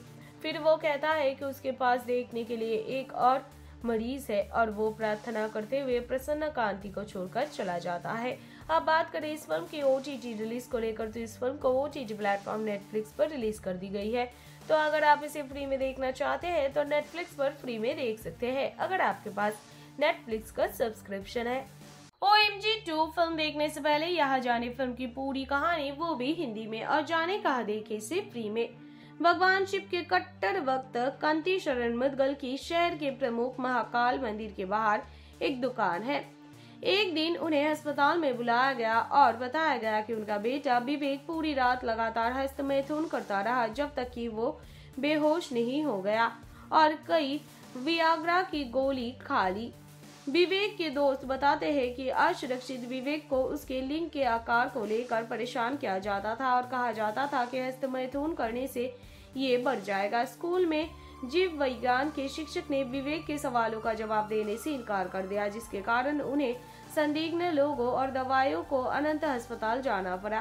कांति को स्कूल के चेयरमैन ने बताया कि विवेक का स्कूल से शौचालय में हस्तमैथुन करते हुए एक वीडियो चल रहा है, क्योंकि इससे स्कूल की छवि प्रभावित हो रही है। विवेक को अश्लीलता के आधार पर निष्कासित कर दिया गया है। कांति के दोस्तों पांडे जी, जो मंदिर के एक अमीर पुजारी है, उन्हें शहर छोड़ने की सलाह देते हैं क्योंकि स्थिति उनकी धार्मिक छवि को खराब कर रही है। वीडियो कांति की पत्नी और बेटी और उनके पूरे मोहल्ले तक पहुँच जाता है। उन्हें समाज में शर्मिंदा होना शुरू हो जाता है। तबाह होकर कांति मदद के लिए भगवान शिव से प्रार्थना करती है। तभी मंदिर में एक दिव्य शक्ति चमकती है और भगवान शिव द्वारा भेजा गया एक दूत आता है। अपने बदमाश की हत्या की कोशिश के लिए विवेक के खिलाफ पुलिस शिकायत के बाद मैसेंजर पुलिस स्टेशन में एक विवेक और कांति से मिलता है और कहता है कि वो अपने लापता बैग की शिकायत दर्ज कराने के लिए वहाँ आया है, जहाँ वो विवेक को सांत्वना देता है। विवेक दो बार आत्महत्या करने की कोशिश करता है, लेकिन मैसेंजर द्वारा बचा लिया जाता है। जब वे शहर छोड़ने वाले थे तो वो कांति से मिलता है और उसे बताता है कि उसके बेटे ने कुछ भी गलत नहीं किया है। वो ये समझने के लिए स्तनपान कराने वाली माँ का उदाहरण लेते हैं कि गोपिनी याता में किया गया हर काम गलत या अश्लील नहीं होता। ये स्कूल की गलती है कि उसने उसे ठीक से शिक्षा नहीं दी और कांति की गलती है कि वो उसे ठीक से मार्गदर्शन नहीं दे सका। वो कांति को स्कूल और चिकित्सकों के खिलाफ मामला दर्ज करने की सलाह देता है। कांति ने स्कूल, केमिस्ट, डॉक्टर और खुद के खिलाफ मामला दर्ज किया। जब इस तथ्य का विरोध किया गया कि वो अपने बेटे के कृत्यों का बचाव करके सिर्फ़ अश्लीलता को बढ़ावा दे रहे हैं तो उन्होंने अदालत में ये बात रखी कि सनातन धर्म और भारतीय संस्कृति में हमेशा सेक्स पर बातचीत शामिल थी। वो इलोरा अजंता और खजुराहो मंदिरों के अंतरंग मानव कला नक्शाशी की दिखाता है और अपने मामले को स्वीकार करने के लिए एक यदिच्छिक बैग से मिली कई पुस्तकों का उदाहरण देता है। पांडे जी कांति को अपना दिया हुआ घर और दुकान छोड़ने के लिए कहते हैं क्योंकि वो ये मामला उनकी धार्मिक छवि को धूमिल करेगा। विपक्षी वकील कामिनी महेश्वरी का कहना है कि कांति अपने बेटे की अश्लील हरकत को छुपाने के लिए ये सब कर रहे हैं। कांति का तर्क है कि अगर स्कूल ने अपने पाठ्यक्रमों में यौन शिक्षा को शामिल किया होता तो उनके बेटे को इतनी गलत जानकारी नहीं मिलती। मैसेंजर अक्सर कांति को मामले को आगे बढ़ाने के बारे में अप्रत्यक्ष सलाह देने के लिए आता है। कामिनी एक सेक्स वर्कर को अदालत में बुलाती है, जिसका बेटा उसी स्कूल में पढ़ता है। ये साबित करने के लिए कि स्कूल बहुत ही अच्छा है। कांति ने वेश्या से पूछा कि क्या वो कभी अपने काम का आनंद लेती है? तो वो कहती है कि उन अज्ञानी पुरुषों को एक महिला के शरीर के बारे में कुछ भी नहीं पता है और उसके साथ सम्मान के साथ कैसे व्यवहार किया जाना चाहिए। कांति का कहना है कि अगर स्कूल युवा लड़कों को यौन शिक्षा देते हैं तो उन्हें पता चल जाएगा कि एक महिला के शरीर का सम्मान कैसे करना है। फिर वो कहता है कि उसके अपने बेटे को भी उन अज्ञानी पुरुषों की तरह नहीं बनना चाहिए जो खुशी के लिए उसके पास आते हैं, जिससे पूरा अदालत कक्ष अबाक रह जाता है। वो उन्हें एक बहादुर शिक्षिका बताते हुए उन्हें नमन करते हैं। जैसे ही मामला आगे बढ़ता है, कांटी पोर्नोग्राफी बलात्कार ड्रग्स और यौन शिक्षा के महत्व से संबंधित मुद्दे बताते हैं। स्कूल के चेयरमैन ने उसे अपना केस वापस लेने के लिए पैसे की पेशकश की है। कांति अपने बेटे के भविष्य को लेकर भावना तक जाल में फंस जाता है और चेक पर हस्ताक्षर कर देता है। वो एक दुर्घटना का शिकार हो जाता है और ज़ाहिर तौर पर मर जाता है। अस्पताल में एक दूत उससे मिलने आता है, जो विश्वास खाने के उसके निर्णय की आलोचना करता है और अंत में खुद को भगवान शिव द्वारा भेजी गई एक दिव्य अभिव्यक्ति के रूप में प्रकट करता है। वो कांति को दिखाता है कि उसके प्रयास सामने आ गई है क्योंकि पांडे जी की पोती ने अपने परिवार के सामने अपने साथ हुए। यौन शोषण का खुलासा किया है। कांति के मामले में टीवी पर दिखाए जाने के कारण कांति को अपनी गलती का एहसास होता है और उसका पुनर्जन्म होता है और उसे अदालत में ले जाया जाता है। सुनवाई में विवेक पहली बार पहुँचते हैं और अपने शोध के माध्यम से साबित किया कि उपनिवेशियों द्वारा ने भारत की शिक्षा प्रणाली को बर्बाद कर दिया गया है, जिसमें वास्तव में प्राचीन काल में यौन शिक्षा भी शामिल थी। भीड़ में से किशोर आगे आकर कहते हैं कि ये भी हस्त मैथुन करते हैं और ये कोई पाप नहीं है, जिसमें जज का अपना बेटा भी शामिल है। कांति ने केस जीत लिया क्योंकि शिक्षा बोर्ड को आदेश दिया गया कि यौन शिक्षा को अनिवार्य बनाया जाए और कांति को भुगतान दिया जाए और विवेक को स्कूल में वापस लिया जाए। कांति ने मैसेंजर को अपने परिवार का परिचय, उस डॉक्टर जिसने उसका इलाज किया के रूप में कराया और मंदिर के बदले उसके हाथ में सारा पैसा देने की पेशकश की। तब दूत ने खुलासा किया कि खोया हुआ बैग उसका था और विवेक से उसे अपने पास रखने के लिए कहा, जिसके अंदर सांस्कृतिक और धार्मिक पुस्तकें थी।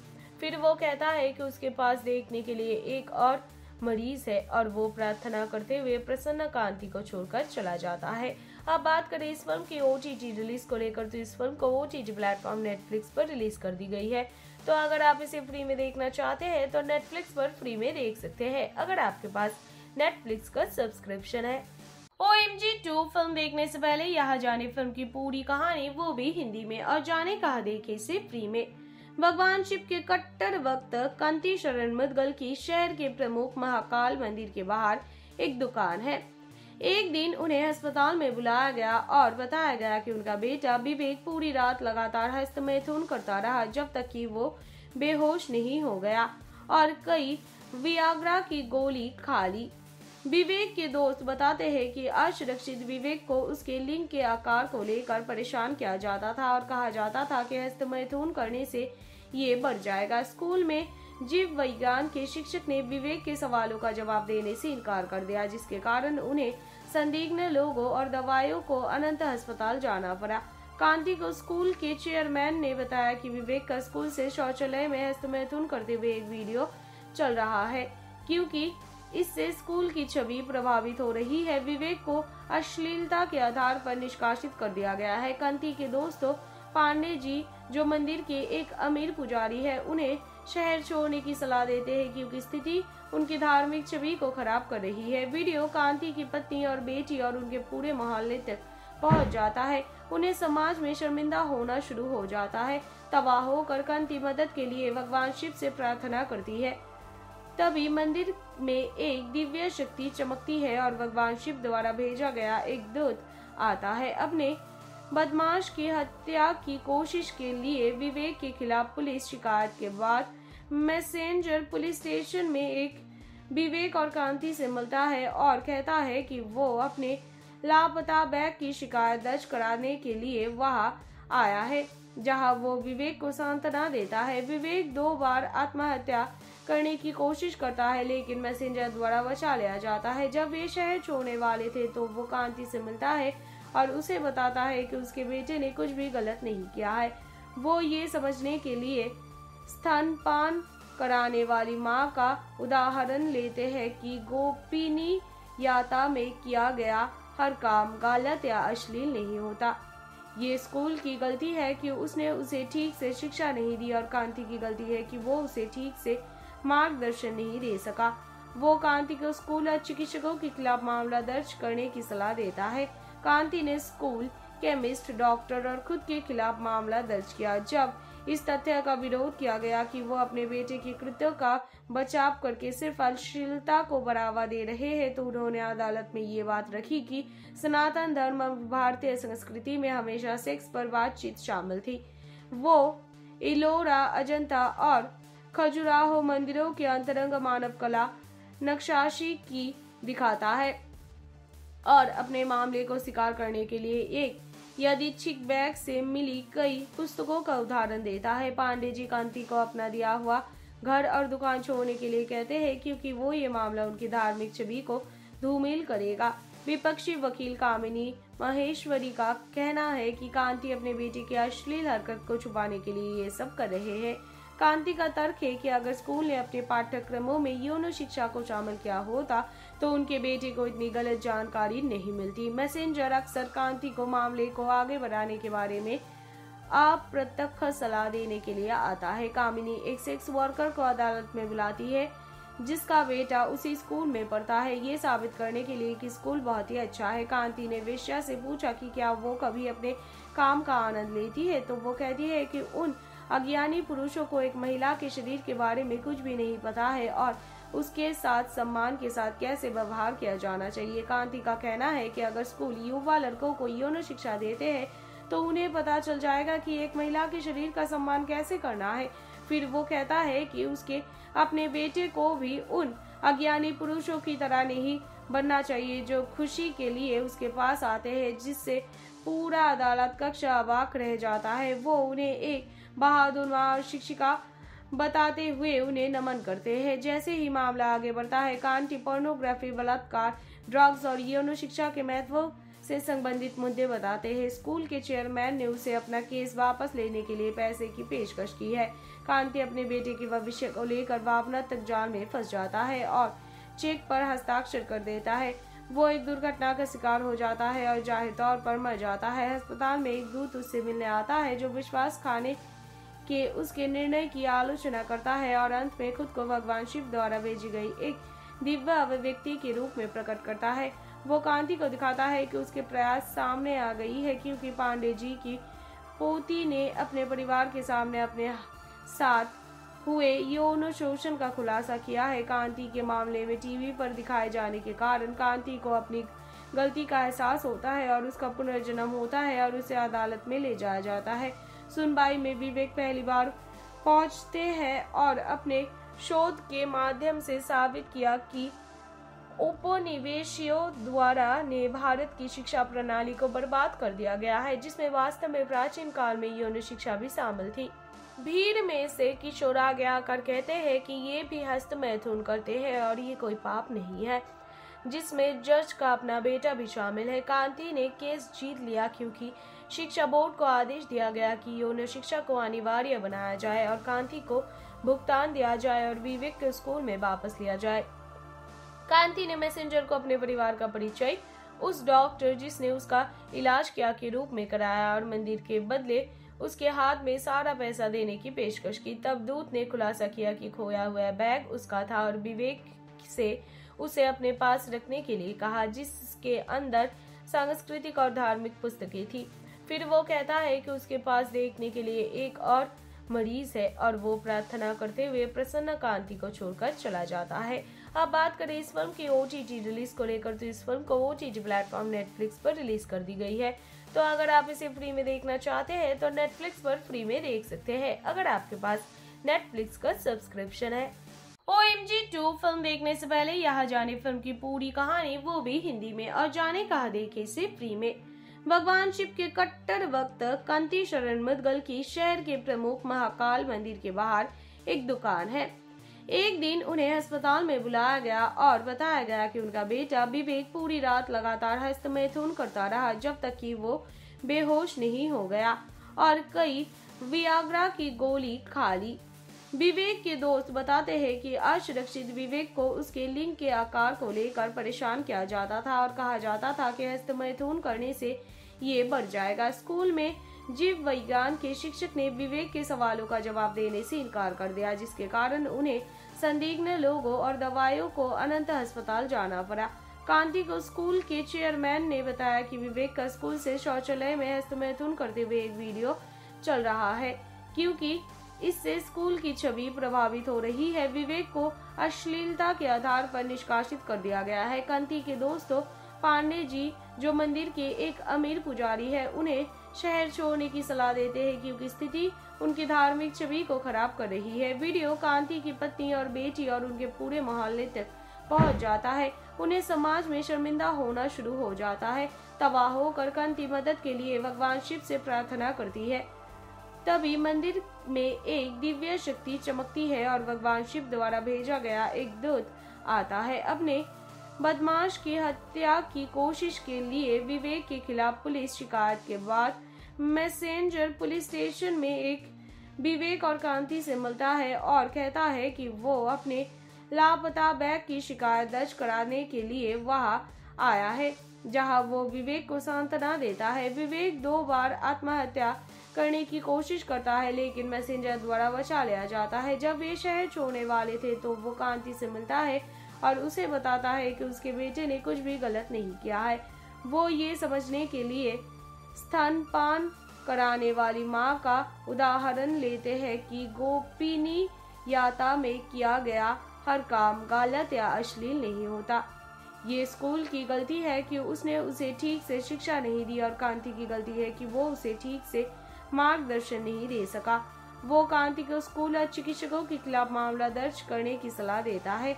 कांति ने स्कूल, केमिस्ट, डॉक्टर और खुद के खिलाफ मामला दर्ज किया। जब इस तथ्य का विरोध किया गया कि वो अपने बेटे की कृत्यों का बचाव करके सिर्फ़ अश्लीलता को बढ़ावा दे रहे हैं तो उन्होंने अदालत में ये बात रखी कि सनातन धर्म और भारतीय संस्कृति में हमेशा सेक्स पर बातचीत शामिल थी। वो इलोरा, अजंता और खजुराहो मंदिरों के अंतरंग मानव कला नक्शाशी की दिखाता है। और अपने मामले को स्वीकार करने के लिए एक यदिच्छिक बैग से मिली कई पुस्तकों का उदाहरण देता है। पांडे जी कांति को अपना दिया हुआ घर और दुकान छोड़ने के लिए कहते हैं क्योंकि वो ये मामला उनकी धार्मिक छवि को धूमिल करेगा। विपक्षी वकील कामिनी महेश्वरी का कहना है कि कांति अपने बेटे की अश्लील हरकत को छुपाने के लिए ये सब कर रहे हैं।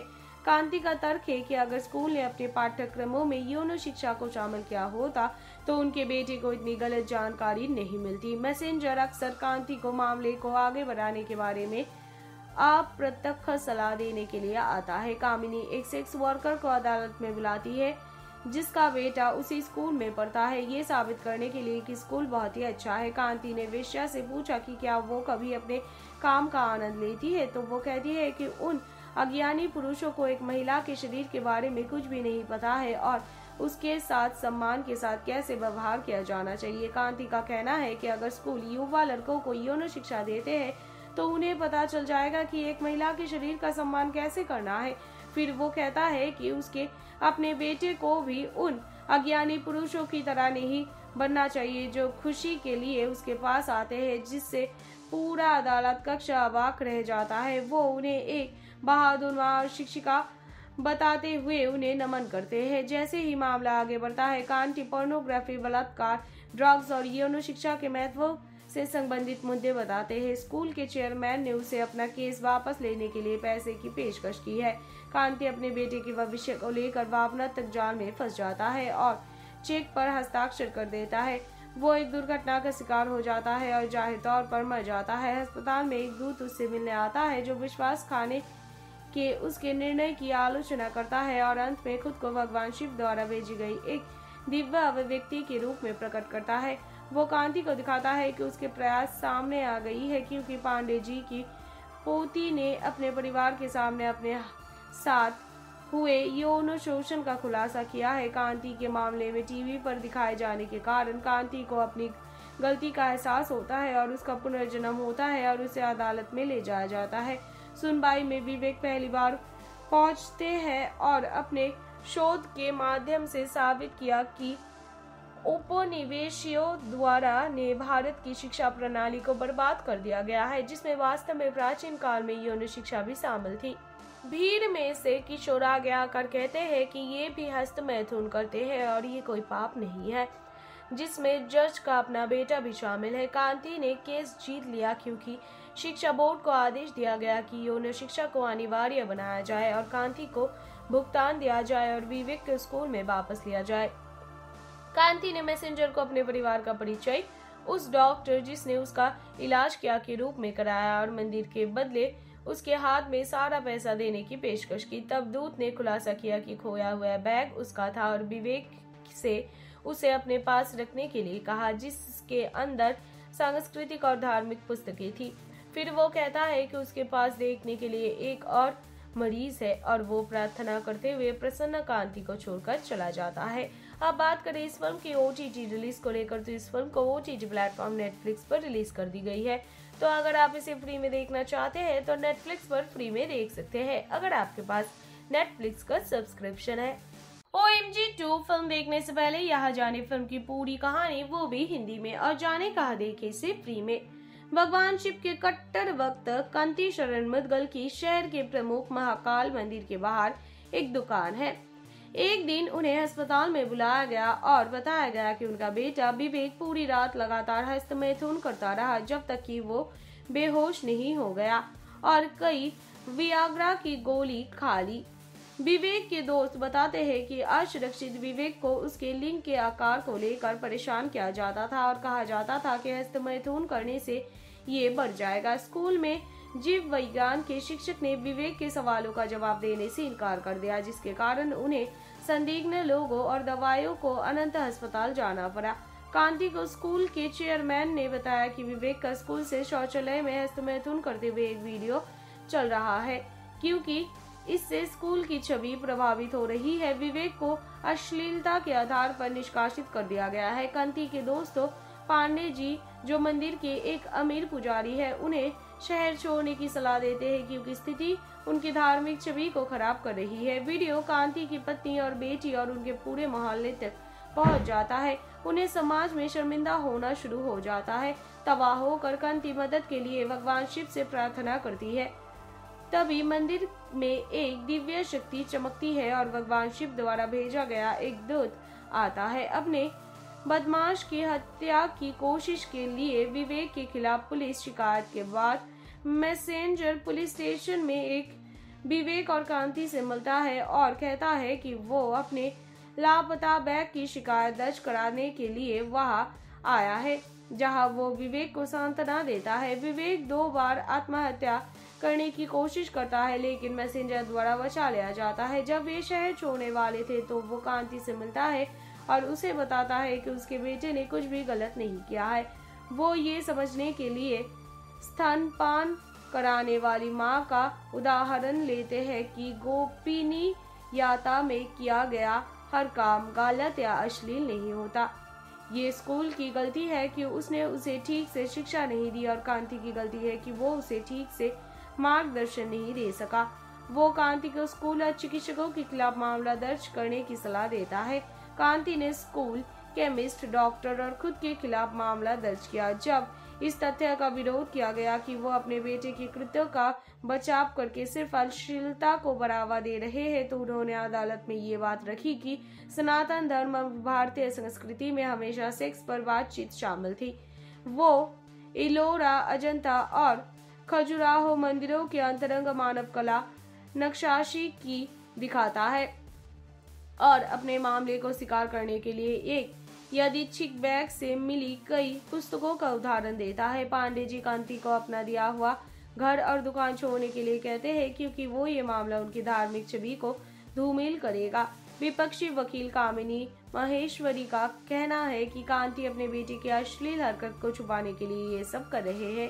कांति का तर्क है कि अगर स्कूल ने अपने पाठ्यक्रमों में यौन शिक्षा को शामिल किया होता तो उनके बेटे को इतनी गलत जानकारी नहीं मिलती। मैसेंजर अक्सर कांति को मामले को आगे बढ़ाने के बारे में अप्रत्यक्ष सलाह देने के लिए आता है। कामिनी एक सेक्स वर्कर को अदालत में बुलाती है, जिसका बेटा उसी स्कूल में पढ़ता है। ये साबित करने के लिए कि स्कूल बहुत ही अच्छा है। कांति ने वेश्या से पूछा कि क्या वो कभी अपने काम का आनंद लेती है? तो वो कहती है कि उन अज्ञानी पुरुषों को एक महिला के शरीर के बारे में कुछ भी नहीं पता है और उसके साथ सम्मान के साथ कैसे व्यवहार किया जाना चाहिए? कांति का कहना है कि अगर स्कूल युवा लड़कों को यौन शिक्षा देते हैं तो उन्हें पता चल जाएगा कि एक महिला के शरीर का सम्मान कैसे करना है।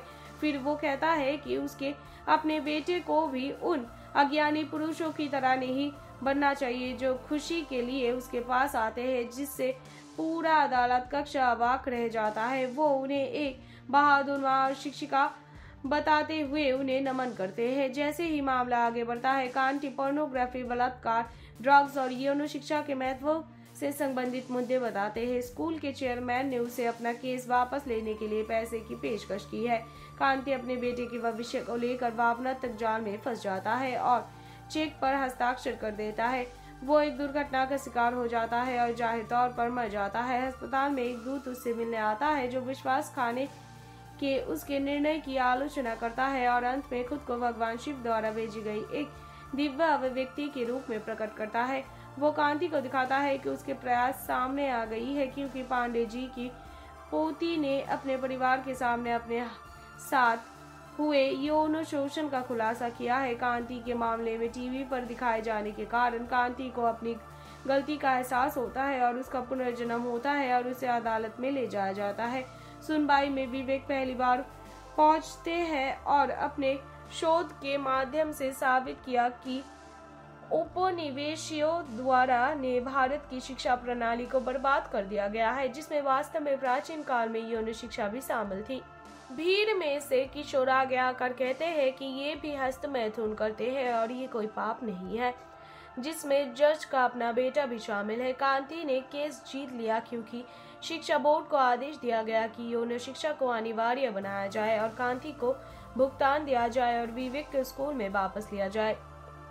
कांति ने मैसेंजर को अपने परिवार का परिचय, उस डॉक्टर जिसने उसका इलाज किया के रूप में कराया और मंदिर के बदले उसके हाथ में सारा पैसा देने की पेशकश की। तब दूत ने खुलासा किया कि खोया हुआ बैग उसका था और विवेक से उसे अपने पास रखने के लिए कहा, जिसके अंदर सांस्कृतिक और धार्मिक पुस्तकें थी। फिर वो कहता है कि उसके पास देखने के लिए एक और मरीज़ है और वो प्रार्थना करते हुए प्रसन्न कांति को छोड़कर चला जाता है। अब बात करें इस फ़िल्म की ओ रिलीज़ को लेकर तो इस फ़िल्म को ओ प्लेटफॉर्म नेटफ्लिक्स पर रिलीज़ कर दी गई है। तो अगर आप इसे फ्री में देखना चाहते हैं तो नेटफ्लिक्स पर फ्री में देख सकते हैं, अगर आपके पास नेटफ्लिक्स का सब्सक्रिप्शन है। O M G two film देखने से पहले यहाँ जाने फ़िल्म की पूरी कहानी वो भी हिंदी में, और जाने कहा देखे से फ्री में। भगवान शिव के कट्टर वक्त कंती शरण मुदगल की शहर के प्रमुख महाकाल मंदिर के बाहर एक दुकान है। एक दिन उन्हें अस्पताल में बुलाया गया और बताया गया कि उनका बेटा विवेक पूरी रात लगातार हस्त मैथुन करता रहा जब तक कि वो बेहोश नहीं हो गया और कई वियाग्रा की गोली खा ली। विवेक के दोस्त बताते हैं कि असुरक्षित विवेक को उसके लिंग के आकार को लेकर परेशान किया जाता था और कहा जाता था कि हस्त मैथुन करने से ये बढ़ जाएगा। स्कूल में जीव विज्ञान के शिक्षक ने विवेक के सवालों का जवाब देने से इनकार कर दिया, जिसके कारण उन्हें संदिग्ध लोगों और दवाइयों को अनंत अस्पताल जाना पड़ा। कांति को स्कूल के चेयरमैन ने बताया कि विवेक का स्कूल से शौचालय में हस्तमैथुन करते हुए एक वीडियो चल रहा है, क्योंकि इससे स्कूल की छवि प्रभावित हो रही है। विवेक को अश्लीलता के आधार पर निष्कासित कर दिया गया है। कांति के दोस्तों पांडे जी, जो मंदिर के एक अमीर पुजारी है, उन्हें शहर छोड़ने की सलाह देते हैं क्योंकि स्थिति उनकी धार्मिक छवि को खराब कर रही है। वीडियो कांति की पत्नी और बेटी और उनके पूरे मोहल्ले तक पहुँच जाता है। उन्हें समाज में शर्मिंदा होना शुरू हो जाता है। तबाह होकर कांति मदद के लिए भगवान शिव से प्रार्थना करती है। तभी मंदिर में एक दिव्य शक्ति चमकती है और भगवान शिव द्वारा भेजा गया एक दूत आता है। अपने बदमाश की हत्या की कोशिश के लिए विवेक के खिलाफ पुलिस शिकायत के बाद मैसेंजर पुलिस स्टेशन में एक विवेक और कांति से मिलता है और कहता है कि वो अपने लापता बैग की शिकायत दर्ज कराने के लिए वहाँ आया है, जहाँ वो विवेक को सांत्वना देता है। विवेक दो बार आत्महत्या करने की कोशिश करता है, लेकिन मैसेंजर द्वारा बचा लिया जाता है। जब वे शहर छोड़ने वाले थे तो वो कांति से मिलता है और उसे बताता है कि उसके बेटे ने कुछ भी गलत नहीं किया है। वो ये समझने के लिए स्तनपान कराने वाली माँ का उदाहरण लेते हैं कि गोपिनी याता में किया गया हर काम गलत या अश्लील नहीं होता। ये स्कूल की गलती है कि उसने उसे ठीक से शिक्षा नहीं दी और कांति की गलती है कि वो उसे ठीक से मार्गदर्शन नहीं दे सका। वो कांति को स्कूल और चिकित्सकों के खिलाफ मामला दर्ज करने की सलाह देता है। कांति ने स्कूल, केमिस्ट, डॉक्टर और खुद के खिलाफ मामला दर्ज किया। जब इस तथ्य का विरोध किया गया कि वो अपने बेटे के कृत्यों का बचाव करके सिर्फ़ अश्लीलता को बढ़ावा दे रहे हैं तो उन्होंने अदालत में ये बात रखी कि सनातन धर्म और भारतीय संस्कृति में हमेशा सेक्स पर बातचीत शामिल थी। वो इलोरा, अजंता और खजुराहो मंदिरों के अंतरंग मानव कला नक्शाशी की दिखाता है। और अपने मामले को स्वीकार करने के लिए एक यादृच्छिक बैग से मिली कई पुस्तकों का उदाहरण देता है। पांडे जी कांति को अपना दिया हुआ घर और दुकान छोड़ने के लिए कहते हैं क्योंकि वो ये मामला उनकी धार्मिक छवि को धूमिल करेगा। विपक्षी वकील कामिनी महेश्वरी का कहना है कि कांति अपने बेटे की अश्लील हरकत को छुपाने के लिए ये सब कर रहे हैं। कांति का तर्क है कि अगर स्कूल ने अपने पाठ्यक्रमों में यौन शिक्षा को शामिल किया होता तो उनके बेटे को इतनी गलत जानकारी नहीं मिलती। मैसेंजर अक्सर कांति को मामले को आगे बढ़ाने के बारे में अप्रत्यक्ष सलाह देने के लिए आता है। कामिनी एक सेक्स वर्कर को अदालत में बुलाती है, जिसका बेटा उसी स्कूल में पढ़ता है। ये साबित करने के लिए कि स्कूल बहुत ही अच्छा है। कांति ने वेश्या से पूछा कि क्या वो कभी अपने काम का आनंद लेती है? तो वो कहती है कि उन अज्ञानी पुरुषों को एक महिला के शरीर के बारे में कुछ भी नहीं पता है और उसके साथ सम्मान के साथ कैसे व्यवहार किया जाना चाहिए? कांति का कहना है कि अगर स्कूल युवा लड़कों को यौन शिक्षा देते हैं तो उन्हें पता चल जाएगा कि एक महिला के शरीर का सम्मान कैसे करना है। फिर वो कहता है कि उसके अपने बेटे को भी उन अज्ञानी पुरुषों की तरह नहीं बनना चाहिए जो खुशी के लिए उसके पास आते हैं, जिससे पूरा अदालत कक्ष अबाक रह जाता है। वो उन्हें एक बहादुर शिक्षिका बताते हुए उन्हें नमन करते हैं। जैसे ही मामला आगे बढ़ता है कांटी पोर्नोग्राफी, बलात्कार, ड्रग्स और यौन शिक्षा के महत्व से संबंधित मुद्दे बताते हैं। स्कूल के चेयरमैन ने उसे अपना केस वापस लेने के लिए पैसे की पेशकश की है। कांति अपने बेटे के भविष्य को लेकर भावना तक जाल में फंस जाता है और चेक पर हस्ताक्षर कर देता है। वो एक दुर्घटना का शिकार हो जाता है और ज़ाहिर तौर पर मर जाता है। अस्पताल में एक दूत उससे मिलने आता है, जो विश्वास खाने के उसके निर्णय की आलोचना करता है और अंत में खुद को भगवान शिव द्वारा भेजी गई एक दिव्य अभिव्यक्ति के रूप में प्रकट करता है। वो कांति को दिखाता है कि उसके प्रयास सामने आ गई है क्योंकि पांडे जी की पोती ने अपने परिवार के सामने अपने साथ हुए। यौन शोषण का खुलासा किया है। कांति के मामले में टीवी पर दिखाए जाने के कारण कांति को अपनी गलती का एहसास होता है और उसका पुनर्जन्म होता है और उसे अदालत में ले जाया जाता है। सुनवाई में विवेक पहली बार पहुँचते हैं और अपने शोध के माध्यम से साबित किया कि उपनिवेशियों द्वारा ने भारत की शिक्षा प्रणाली को बर्बाद कर दिया गया है, जिसमें वास्तव में प्राचीन काल में यौन शिक्षा भी शामिल थी।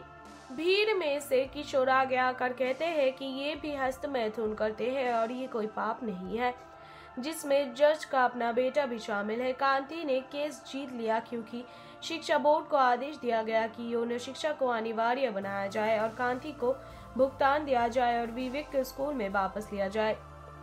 कांति ने मैसेंजर को अपने परिवार का परिचय, उस डॉक्टर जिसने उसका इलाज किया के रूप में कराया और मंदिर के बदले उसके हाथ में सारा पैसा देने की पेशकश की। तब दूत ने खुलासा किया कि खोया हुआ बैग उसका था और विवेक से उसे अपने पास रखने के लिए कहा, जिसके अंदर सांस्कृतिक और धार्मिक पुस्तकें थी।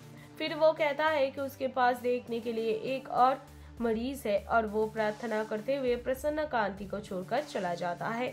अब बात करें इस फ़िल्म की ओटीटी रिलीज़ को लेकर तो इस फ़िल्म को ओ प्लेटफॉर्म नेटफ्लिक्स पर रिलीज़ कर दी गई है। तो अगर आप इसे फ्री में देखना चाहते हैं तो नेटफ्लिक्स पर फ्री में देख सकते हैं, अगर आपके पास नेटफ्लिक्स का सब्सक्रिप्शन है। O M G two film देखने से पहले यहाँ जाने फ़िल्म की पूरी कहानी, वो भी हिंदी में, और जाने कहा देखे से फ्री में। भगवान शिव के कट्टर वक्त कंती शरण मुदगल की शहर के प्रमुख महाकाल मंदिर के बाहर एक दुकान है।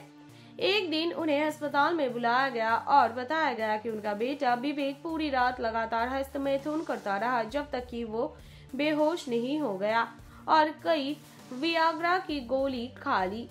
विवेक के दोस्त बताते हैं कि असुरक्षित विवेक को उसके लिंग के आकार को लेकर परेशान किया जाता था और कहा जाता था कि हस्तमैथुन करने से ये बढ़ जाएगा। स्कूल में जीव विज्ञान के शिक्षक ने विवेक के सवालों का जवाब देने से इनकार कर दिया, जिसके कारण उन्हें संदिग्ध लोगों और दवाइयों को अनंत अस्पताल जाना पड़ा।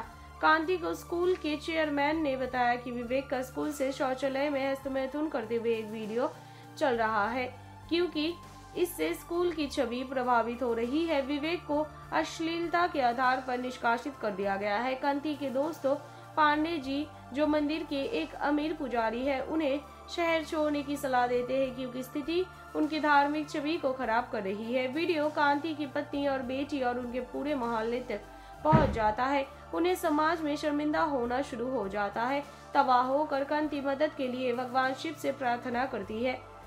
तभी मंदिर में एक दिव्य शक्ति चमकती है और भगवान शिव द्वारा भेजा गया एक दूत आता है। अपने बदमाश की हत्या की कोशिश के लिए विवेक के खिलाफ पुलिस शिकायत के बाद मैसेंजर पुलिस स्टेशन में एक विवेक और कांति से मिलता है और कहता है कि वो अपने लापता बैग की शिकायत दर्ज कराने के लिए वहाँ आया है, जहाँ वो विवेक को सांत्वना देता है। विवेक दो बार आत्महत्या करने की कोशिश करता है, लेकिन मैसेंजर द्वारा बचा लिया जाता है। जब वे शहर छोड़ने वाले थे तो वो कांति से मिलता है और उसे बताता है कि उसके बेटे ने कुछ भी गलत नहीं किया है।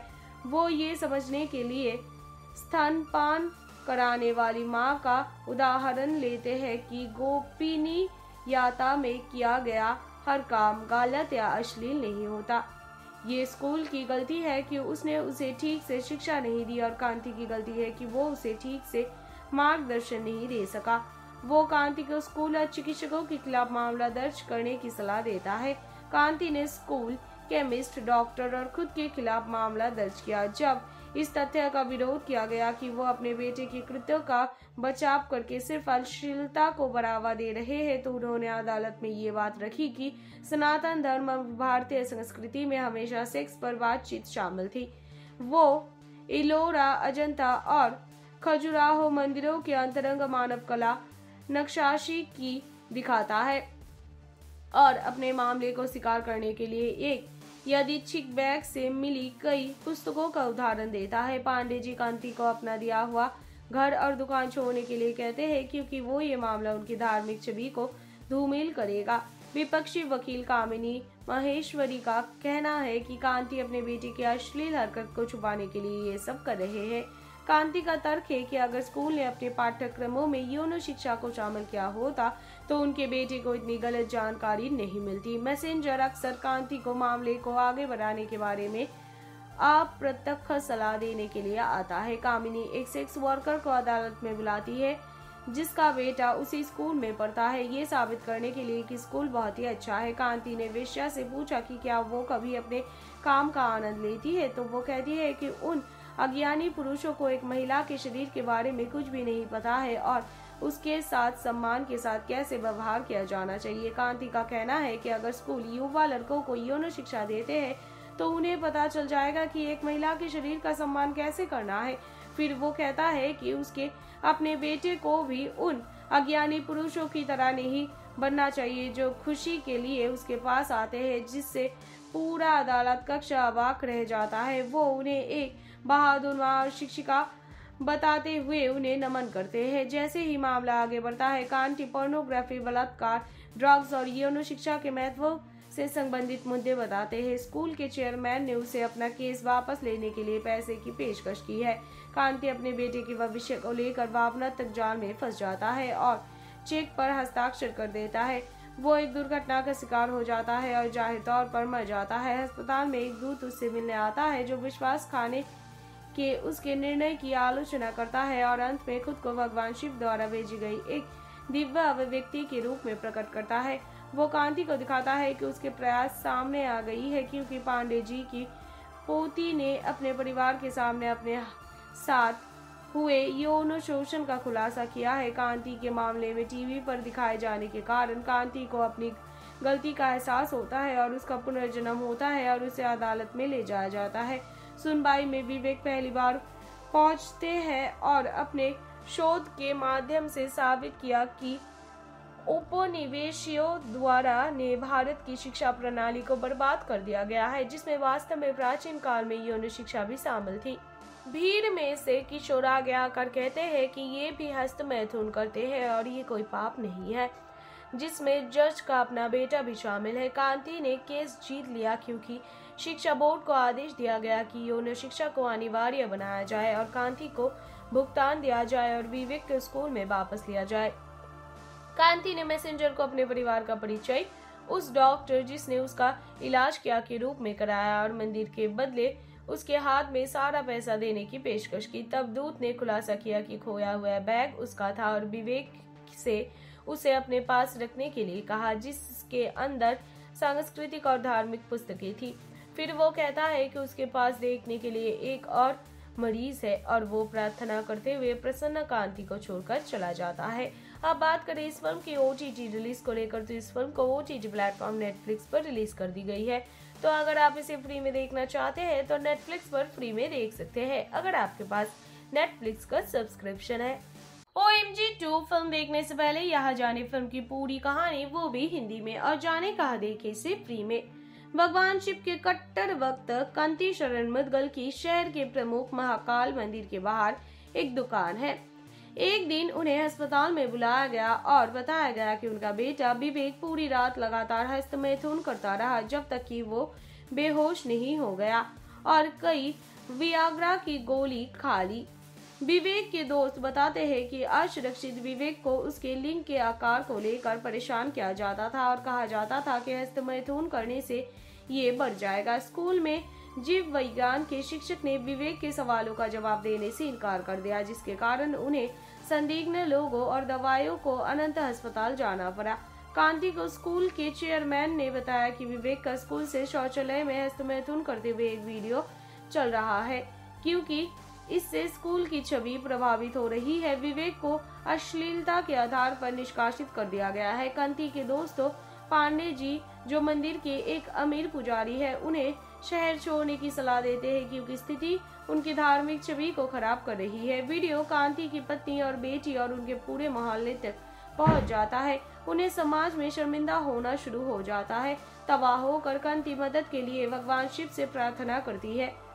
तभी मंदिर में एक दिव्य शक्ति चमकती है और भगवान शिव द्वारा भेजा गया एक दूत आता है। अपने बदमाश की हत्या की कोशिश के लिए विवेक के खिलाफ पुलिस शिकायत के बाद मैसेंजर पुलिस स्टेशन में एक विवेक और कांति से मिलता है और कहता है कि वो अपने लापता बैग की शिकायत दर्ज कराने के लिए वहाँ आया है, जहाँ वो विवेक को सांत्वना देता है। विवेक दो बार आत्महत्या करने की कोशिश करता है, लेकिन मैसेंजर द्वारा बचा लिया जाता है। जब वे शहर छोड़ने वाले थे तो वो कांति से मिलता है और उसे बताता है कि उसके बेटे ने कुछ भी गलत नहीं किया है।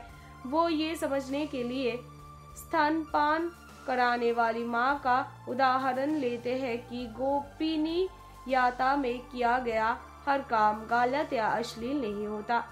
ये स्कूल की गलती है कि उसने उसे ठीक से शिक्षा नहीं दी और कांति की गलती है कि वो उसे ठीक से मार्गदर्शन नहीं दे सका।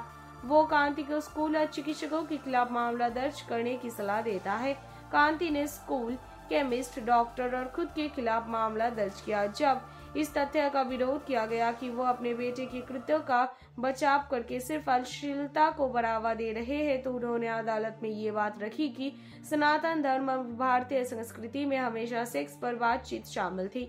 वो इलोरा, अजंता और खजुराहो मंदिरों के अंतरंग मानव कला नक्शाशी की दिखाता है। और अपने मामले को स्वीकार करने के लिए एक यदिच्छिक बैग से मिली कई पुस्तकों का उदाहरण देता है। पांडे जी कांति को अपना दिया हुआ घर और दुकान छोड़ने के लिए कहते हैं क्योंकि वो ये मामला उनकी धार्मिक छवि को धूमिल करेगा। विपक्षी वकील कामिनी महेश्वरी का कहना है कि कांति अपने बेटे की अश्लील हरकत को छुपाने के लिए ये सब कर रहे हैं।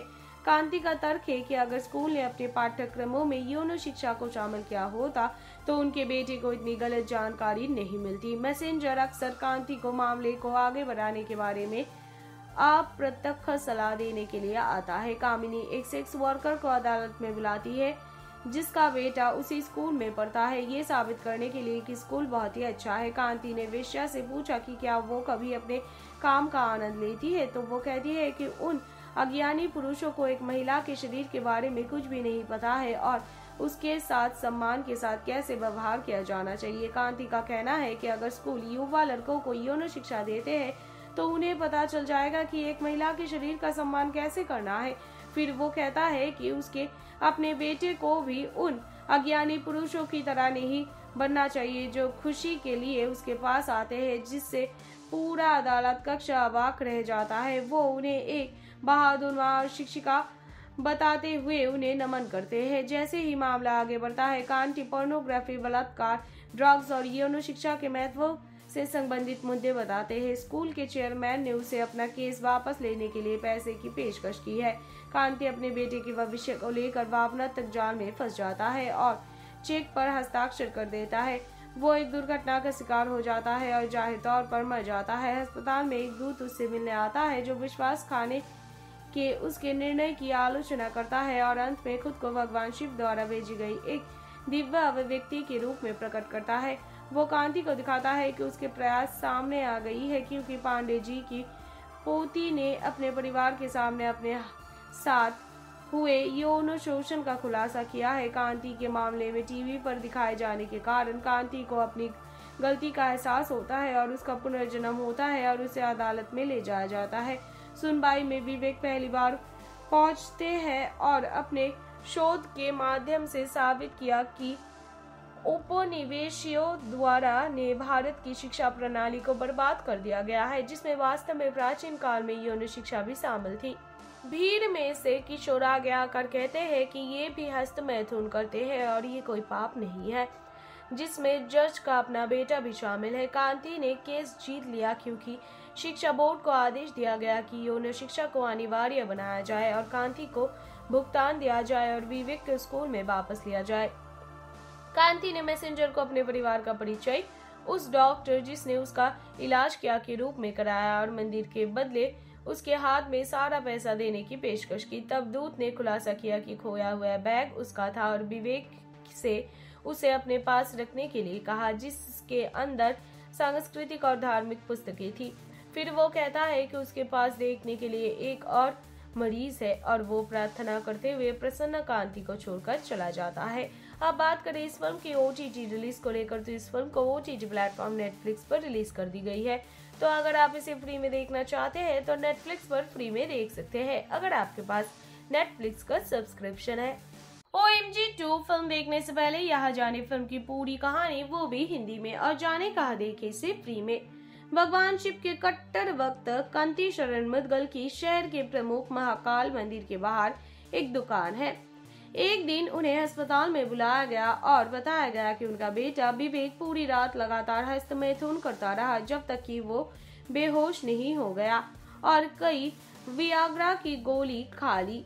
विवेक के दोस्त बताते हैं कि असुरक्षित विवेक को उसके लिंग के आकार को लेकर परेशान किया जाता था और कहा जाता था कि हस्तमैथुन करने से ये बढ़ जाएगा। स्कूल में जीव विज्ञान के शिक्षक ने विवेक के सवालों का जवाब देने से इनकार कर दिया, जिसके कारण उन्हें संदिग्ध लोगों और दवाइयों को अनंत अस्पताल जाना पड़ा।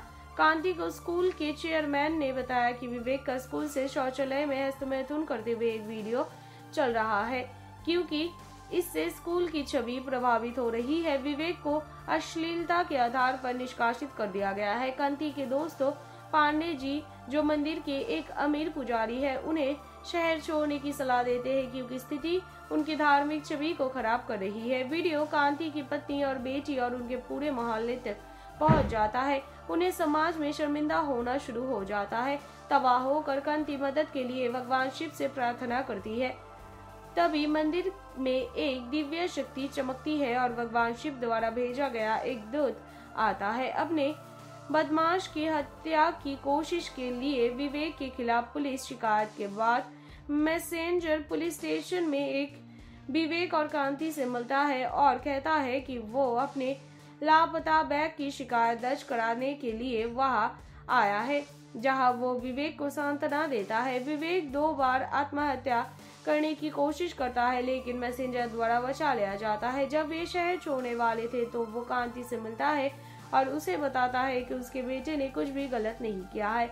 वो ये समझने के लिए स्तनपान कराने वाली माँ का उदाहरण लेते हैं कि गोपिनी याता में किया गया हर काम गलत या अश्लील नहीं होता।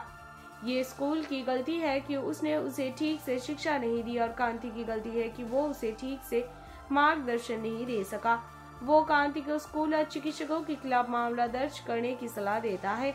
कांति ने स्कूल, केमिस्ट, डॉक्टर और खुद के खिलाफ मामला दर्ज किया। जब इस तथ्य का विरोध किया गया कि वो अपने बेटे के कृत्यों का बचाव करके सिर्फ़ अश्लीलता को बढ़ावा दे रहे हैं तो उन्होंने अदालत में ये बात रखी कि सनातन धर्म और भारतीय संस्कृति में हमेशा सेक्स पर बातचीत शामिल थी।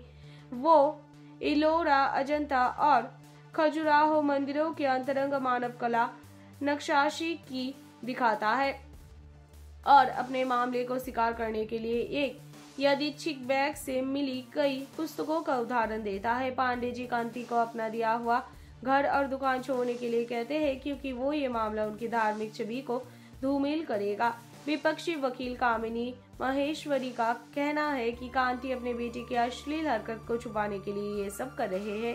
कांति का तर्क है कि अगर स्कूल ने अपने पाठ्यक्रमों में यौन शिक्षा को शामिल किया होता तो उनके बेटे को इतनी गलत जानकारी नहीं मिलती। मैसेंजर अक्सर कांति को मामले को आगे बढ़ाने के बारे में अप्रत्यक्ष सलाह देने के लिए आता है। कामिनी एक सेक्स वर्कर को अदालत में बुलाती है, जिसका बेटा उसी स्कूल में पढ़ता है। ये साबित करने के लिए कि स्कूल बहुत ही अच्छा है। कांति ने वेश्या से पूछा कि क्या वो कभी अपने काम का आनंद लेती है? तो वो कहती है कि उन अज्ञानी पुरुषों को एक महिला के शरीर के बारे में कुछ भी नहीं पता है और उसके साथ सम्मान के साथ कैसे व्यवहार किया जाना चाहिए? कांति का कहना है कि अगर स्कूल युवा लड़कों को यौन शिक्षा देते हैं तो उन्हें पता चल जाएगा कि एक महिला के शरीर का सम्मान कैसे करना है।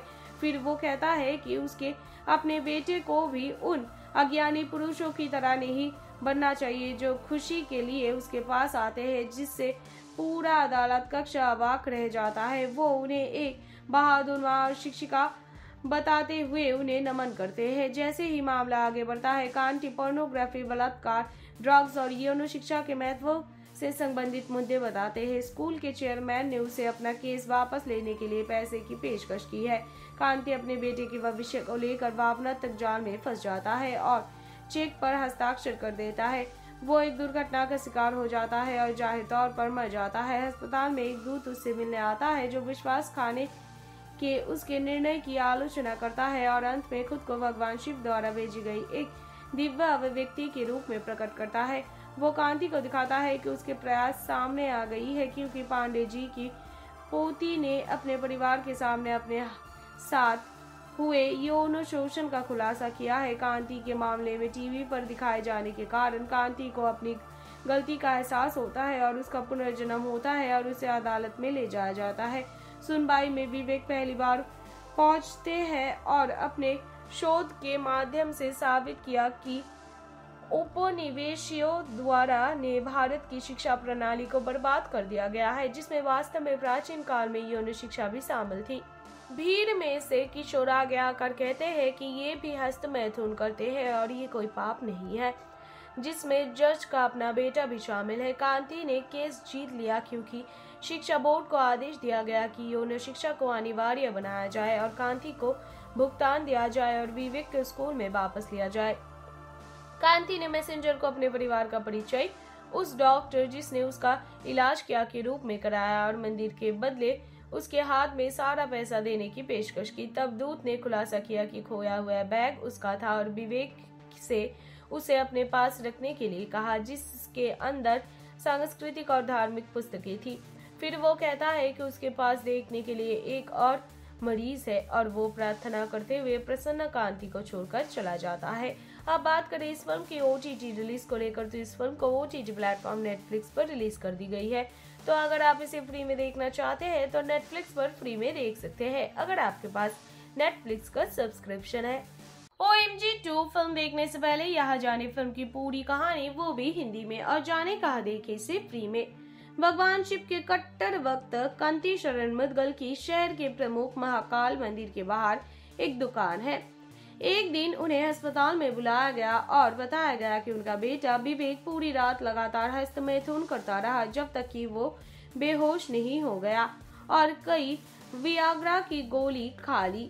विवेक के दोस्त बताते हैं कि असुरक्षित विवेक को उसके लिंग के आकार को लेकर परेशान किया जाता था और कहा जाता था कि हस्तमैथुन करने से ये बढ़ जाएगा। स्कूल में जीव विज्ञान के शिक्षक ने विवेक के सवालों का जवाब देने से इनकार कर दिया, जिसके कारण उन्हें संदिग्ध लोगों और दवाइयों को अनंत अस्पताल जाना पड़ा। कांति को स्कूल के चेयरमैन ने बताया कि विवेक का स्कूल से शौचालय में हस्तमैथुन करते हुए एक वीडियो चल रहा है, क्योंकि इससे स्कूल की छवि प्रभावित हो रही है। विवेक को अश्लीलता के आधार पर निष्कासित कर दिया गया है। कंती के दोस्तों पांडे जी, जो मंदिर के एक अमीर पुजारी है, उन्हें शहर छोड़ने की सलाह देते हैं क्योंकि स्थिति उनकी धार्मिक छवि को खराब कर रही है। वीडियो कांति की पत्नी और बेटी और उनके पूरे मोहल्ले तक पहुँच जाता है। उन्हें समाज में शर्मिंदा होना शुरू हो जाता है। तबाह होकर कांति मदद के लिए भगवान शिव से प्रार्थना करती है।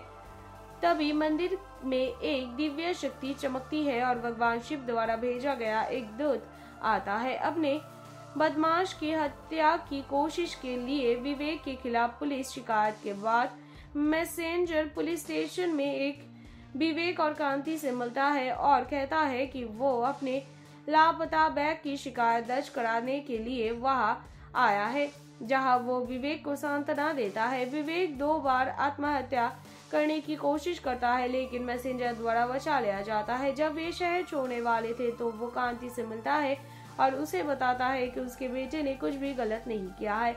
वो ये समझने के लिए स्तनपान कराने वाली माँ का उदाहरण लेते हैं कि गोपिनी याता में किया गया हर काम गलत या अश्लील नहीं होता।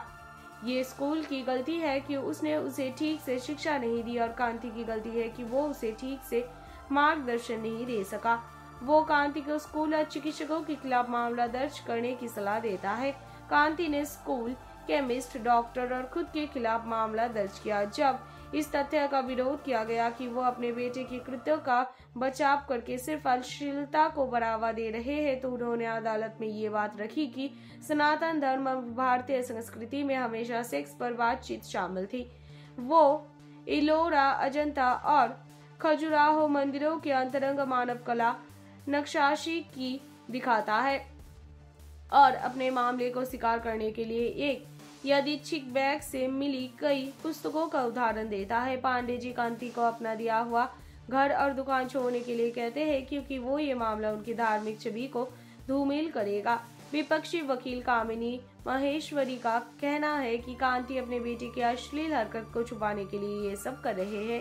कांति का तर्क है कि अगर स्कूल ने अपने पाठ्यक्रमों में यौन शिक्षा को शामिल किया होता तो उनके बेटे को इतनी गलत जानकारी नहीं मिलती। मैसेंजर अक्सर कांति को मामले को आगे बढ़ाने के बारे में अप्रत्यक्ष सलाह देने के लिए आता है। कामिनी एक सेक्स वर्कर को अदालत में बुलाती है, जिसका बेटा उसी स्कूल में पढ़ता है। ये साबित करने के लिए कि स्कूल बहुत ही अच्छा है। कांति ने वेश्या से पूछा कि क्या वो कभी अपने काम का आनंद लेती है? तो वो कहती है कि उन अज्ञानी पुरुषों को एक महिला के शरीर के बारे में कुछ भी नहीं पता है और उसके साथ सम्मान के साथ कैसे व्यवहार किया जाना चाहिए? कांति का कहना है कि अगर स्कूल युवा लड़कों को यौन शिक्षा देते हैं तो उन्हें पता चल जाएगा कि एक महिला के शरीर का सम्मान कैसे करना है। फिर वो कहता है कि उसके अपने बेटे को भी उन अज्ञानी पुरुषों की तरह नहीं बनना चाहिए जो खुशी के लिए उसके पास आते हैं, जिससे पूरा अदालत कक्ष अबाक रह जाता है। वो उन्हें एक बहादुर शिक्षिका बताते हुए उन्हें नमन करते हैं। जैसे ही मामला आगे बढ़ता है, कांटी पोर्नोग्राफी, बलात्कार, ड्रग्स और यौन शिक्षा के महत्व से संबंधित मुद्दे बताते हैं। स्कूल के चेयरमैन ने उसे अपना केस वापस लेने के लिए पैसे की पेशकश की है। कांति अपने बेटे के भविष्य को लेकर भावना तक जाल में फंस जाता है और चेक पर हस्ताक्षर कर देता है। वो एक दुर्घटना का शिकार हो जाता है और ज़ाहिर तौर पर मर जाता है। अस्पताल में एक दूत उससे मिलने आता है, जो विश्वास खाने के उसके निर्णय की आलोचना करता है और अंत में खुद को भगवान शिव द्वारा भेजी गई एक दिव्य अभिव्यक्ति के रूप में प्रकट करता है। वो कांति को दिखाता है कि उसके प्रयास सामने आ गई है क्योंकि पांडे जी की पोती ने अपने परिवार के सामने अपने साथ हुए। यौन शोषण का खुलासा किया है। कांति के मामले में टीवी पर दिखाए जाने के कारण कांति को अपनी गलती का एहसास होता है और उसका पुनर्जन्म होता है और उसे अदालत में ले जाया जाता है। सुनवाई में विवेक पहली बार पहुँचते हैं और अपने शोध के माध्यम से साबित किया कि उपनिवेशियों द्वारा ने भारत की शिक्षा प्रणाली को बर्बाद कर दिया गया है, जिसमें वास्तव में प्राचीन काल में यौन शिक्षा भी शामिल थी। भीड़ में से किशोर आगे आकर कहते हैं कि ये भी हस्त मैथुन करते हैं और ये कोई पाप नहीं है, जिसमें जज का अपना बेटा भी शामिल है। कांति ने केस जीत लिया क्योंकि शिक्षा बोर्ड को आदेश दिया गया कि यौन शिक्षा को अनिवार्य बनाया जाए और कांति को भुगतान दिया जाए और विवेक को स्कूल में वापस लिया जाए। कांति ने मैसेंजर को अपने परिवार का परिचय, उस डॉक्टर जिसने उसका इलाज किया के रूप में कराया और मंदिर के बदले उसके हाथ में सारा पैसा देने की पेशकश की। तब दूत ने खुलासा किया कि खोया हुआ बैग उसका था और विवेक से उसे अपने पास रखने के लिए कहा, जिसके अंदर सांस्कृतिक और धार्मिक पुस्तकें थी। फिर वो कहता है कि उसके पास देखने के लिए एक और मरीज़ है और वो प्रार्थना करते हुए प्रसन्न कांति को छोड़कर चला जाता है। अब बात करें इस फ़िल्म की ओ रिलीज़ को लेकर तो इस फ़िल्म को ओ प्लेटफॉर्म नेटफ्लिक्स पर रिलीज़ कर दी गई है। तो अगर आप इसे फ्री में देखना चाहते हैं तो नेटफ्लिक्स पर फ्री में देख सकते हैं, अगर आपके पास नेटफ्लिक्स का सब्सक्रिप्शन है। O M G two film देखने से पहले यहाँ जाने फ़िल्म की पूरी कहानी वो भी हिंदी में, और जाने कहा देखे से फ्री में। भगवान शिव के कट्टर वक्त कंती शरण मुदगल की शहर के प्रमुख महाकाल मंदिर के बाहर एक दुकान है। एक दिन उन्हें अस्पताल में बुलाया गया और बताया गया कि उनका बेटा विवेक पूरी रात लगातार हस्तमैथुन करता रहा जब तक कि वो बेहोश नहीं हो गया और कई वियाग्रा की गोली खा ली। विवेक के दोस्त बताते हैं कि असुरक्षित विवेक को उसके लिंग के आकार को लेकर परेशान किया जाता था और कहा जाता था कि हस्त मैथुन करने से ये बढ़ जाएगा। स्कूल में जीव विज्ञान के शिक्षक ने विवेक के सवालों का जवाब देने से इनकार कर दिया, जिसके कारण उन्हें संदिग्ध लोगों और दवाइयों को अनंत अस्पताल जाना पड़ा। कांति को स्कूल के चेयरमैन ने बताया कि विवेक का स्कूल से शौचालय में हस्तमैथुन करते हुए एक वीडियो चल रहा है, क्योंकि इससे स्कूल की छवि प्रभावित हो रही है। विवेक को अश्लीलता के आधार पर निष्कासित कर दिया गया है। कांति के दोस्तों पांडे जी, जो मंदिर के एक अमीर पुजारी है, उन्हें शहर छोड़ने की सलाह देते हैं क्योंकि स्थिति उनकी धार्मिक छवि को खराब कर रही है। वीडियो कांति की पत्नी और बेटी और उनके पूरे मोहल्ले तक पहुँच जाता है। उन्हें समाज में शर्मिंदा होना शुरू हो जाता है। तबाह होकर कांति मदद के लिए भगवान शिव से प्रार्थना करती है। तभी मंदिर में एक दिव्य शक्ति चमकती है और भगवान शिव द्वारा भेजा गया एक दूत आता है। अपने बदमाश की हत्या की कोशिश के लिए विवेक के खिलाफ पुलिस शिकायत के बाद मैसेंजर पुलिस स्टेशन में एक विवेक और कांति से मिलता है और कहता है कि वो अपने लापता बैग की शिकायत दर्ज कराने के लिए वहाँ आया है, जहाँ वो विवेक को सांत्वना देता है। विवेक दो बार आत्महत्या करने की कोशिश करता है, लेकिन मैसेंजर द्वारा बचा लिया जाता है। जब वे शहर छोड़ने वाले थे तो वो कांति से मिलता है और उसे बताता है कि उसके बेटे ने कुछ भी गलत नहीं किया है। वो ये समझने के लिए स्तनपान कराने वाली माँ का उदाहरण लेते हैं कि गोपिनी याता में किया गया हर काम गलत या अश्लील नहीं होता। ये स्कूल की गलती है कि उसने उसे ठीक से शिक्षा नहीं दी और कांति की गलती है कि वो उसे ठीक से मार्गदर्शन नहीं दे सका। वो कांति को स्कूल और चिकित्सकों के खिलाफ मामला दर्ज करने की सलाह देता है। कांति ने स्कूल, केमिस्ट, डॉक्टर और खुद के खिलाफ मामला दर्ज किया। जब इस तथ्य का विरोध किया गया कि वो अपने बेटे की कृत्यों का बचाव करके सिर्फ़ अश्लीलता को बढ़ावा दे रहे हैं तो उन्होंने अदालत में ये बात रखी कि सनातन धर्म और भारतीय संस्कृति में हमेशा सेक्स पर बातचीत शामिल थी। वो इलोरा, अजंता और खजुराहो मंदिरों के अंतरंग मानव कला नक्शाशी की दिखाता है और अपने मामले को स्वीकार करने के लिए एक यादृच्छिक बैग से मिली कई पुस्तकों का उदाहरण देता है। पांडे जी कांति को अपना दिया हुआ घर और दुकान छोड़ने के लिए कहते हैं क्योंकि वो ये मामला उनकी धार्मिक छवि को धूमिल करेगा। विपक्षी वकील कामिनी महेश्वरी का कहना है कि कांति अपने बेटे की अश्लील हरकत को छुपाने के लिए ये सब कर रहे हैं।